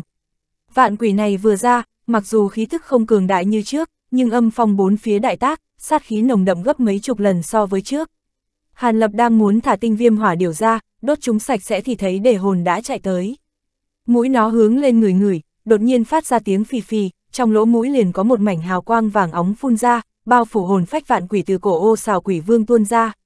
Ngay sau đó, chỉ thấy nó dùng sức hút một cái, vạn quỷ trong hào quang màu vàng kia nhao nhao vỡ ra, hóa thành một mảnh hắc quang nồng đậm không gì sánh được, bị nó hút vào trong mũi cuồn cuộn. Theo cỗ hắc quang kia như nước sông cuồn cuộn tràn vào thể nội đề hồn, không gian màn đêm bao phủ bốn phía rốt cuộc không chống đỡ nổi, bắt đầu tán loạn từng chút một. Hàn Lập thấy thế, tâm thần an tâm một chút, cầm trong tay trường kiếm hộ pháp cho đề hồn, đồng thời ánh mắt quét bốn phía. Chỉ thấy tại chỗ rất xa trên chiến trường vẫn còn đang chiến đấu kịch liệt, khu kiến trúc miếu cổ kia cơ hồ đã bị hủy sạch, chỉ còn lại có một cửa vòm còn ương ngạnh đứng lặng tại đó. Lúc này, nguyên bản có 10 tên quỷ tướng áo đỏ, giờ chỉ còn lại có 3 tên quỷ tướng, theo thứ tự là tên học trò có giọng lanh lảnh và hai tên đầu trâu mặt ngựa. Mà bên Thiên Thủy Tông cũng chỉ còn lại hai người Tô An Thiến và Cận Lưu. Trên mặt đất có 7-8 cỗ thi thể tu sĩ, những người còn lại không biết là bị quỷ tướng nuốt đi thi cốt, hay là bị Cận Lưu một lần nữa thu hồi vào trong linh lung bảo tháp, tóm lại đã mất đi bóng dáng. Về phần phó cốc chủ và bốn tên tán tu kia, giờ phút này tất cả đã biến thành bạch cốt, vẫn còn duy trì tư thế lưng tựa vào nhau cùng ngăn địch, chung quanh vẫn tụ tập chẳng chịt ác quỷ, từng tên không có mục tiêu công kích, ngơ ngơ ngác ngác, cho người ta một cảm giác quỷ dị. Hàn lập do dự một chút, tay vung lên, một cỗ kình phong quét tới, đánh tan đám ác quỷ phụ cận, sau đó xoáy cát đá trên mặt đất lên rồi đưa di hài họ vùi lấp vào đó. Lúc này, hai người còn đang giao chiến với ba đầu quỷ vật, rốt cuộc đã nhận ra dị trạng bên này. Quỷ vương, trong miệng quỷ tướng như người học trò phát ra một tiếng rít, trong nháy mắt giống như bị điên, bay thẳng đến chỗ để hồn. Thân hình Hàn Lập đã sớm hiện lên, thanh trúc phong vân kiếm trong tay chém xuống. Một vòng kiếm quang sáng trói quấn quanh kim lôi, xé mở màn trời mở tối thành một lỗ hồng khổng lồ, rơi thẳng lên thân tên quỷ học trò. Tên học trò không thể tránh kịp, trực tiếp bị xẻ thành hai nửa. Quỷ vương, quỷ vương, quỷ, chỉ thấy trong miệng y thì thào mấy tiếng, thân hình bắt đầu tiêu tán biến mất. Quỷ tướng đầu trâu và quỷ tướng mặt ngựa kia thấy thế, trong lòng biết đại thế đã mất, lập tức bỏ chạy tứ tán. Hai người cận lưu và Tô An Thiến chia ra đuổi theo, thân ảnh biến mất cuối chân trời. Hàn Lập chỉ liếc qua, không tiếp tục đi quản nữa. Ánh mắt của hắn nhìn lướt qua bốn phía, thấy thế cục cuối cùng đã ổn định, lúc này mới lơ lửng ở trên bầu trời khoanh chân ngồi xuống, nhắm mắt điều tức. Trước đó thần hồn tổn thương, rồi thời gian pháp tắc chi lực tiêu hao, làm cho hắn giờ phút này rất là mỏi mệt. Ước chừng sau một chén trà công phu, đôi mắt hắn chậm rãi mở ra, thần tình trên mặt lại có chút phức tạp. Lúc trước linh vực và các vật pháp tác giống như một bộ kia xuất hiện dị trạng, hắn tạm thời nghĩ mãi không hiểu, nhưng xem phản ứng của kỳ ma từ lúc trước, đây không phải là trùng hợp, mà là tu luyện đại ngũ hành huyễn thế quyết tới trình độ nhất định, sẽ xuất hiện thần thông mới này. Đáng tiếc trên công pháp này, hắn xem như tự học thành tài, có nhiều thứ chỉ có thể dựa vào chính mình tìm tòi từng chút một. Bây giờ các vật thời gian pháp tác giống một bộ kia tạm thời không thể nào sử dụng được, thủ đoạn bản thân liền ít đi, nghĩ đến đây, Hàn Lập cũng có chút đau đầu. Đây cũng là việc nửa vui nửa buồn, chỉ có thể đi một bước tính một bước. Hắn thầm than một tiếng, đứng lên, lúc này đề hồn rốt cuộc đã thôn vệ xong toàn bộ ô xào quỷ vương, khôi phục hình người, đáp xuống bên cạnh hắn. Ấc, vừa mới rơi xuống đất, trong cổ của nàng liền truyền ra một tiếng ợ. Ăn có chút căng bụng, đề hồn hơi xấu hổ nói, trước đó ngươi luôn nói đói bụng, lần này ăn no thì tốt rồi, về trong động thiên nghỉ ngơi cho tốt đi. Hàn Lập cười cười, nói ra, được bế quan một trận thật tốt, đợi ta luyện hóa nguồn lực lượng này xong, về sau có thể giúp chủ nhân nhiều hơn. Đề hồn đáp, Hàn Lập gật đầu nhẹ, tiện tay vung lên, mở ra quang môn màu bạc, thân hình đề hồn lóe lên, tiến nhập vào trong đó.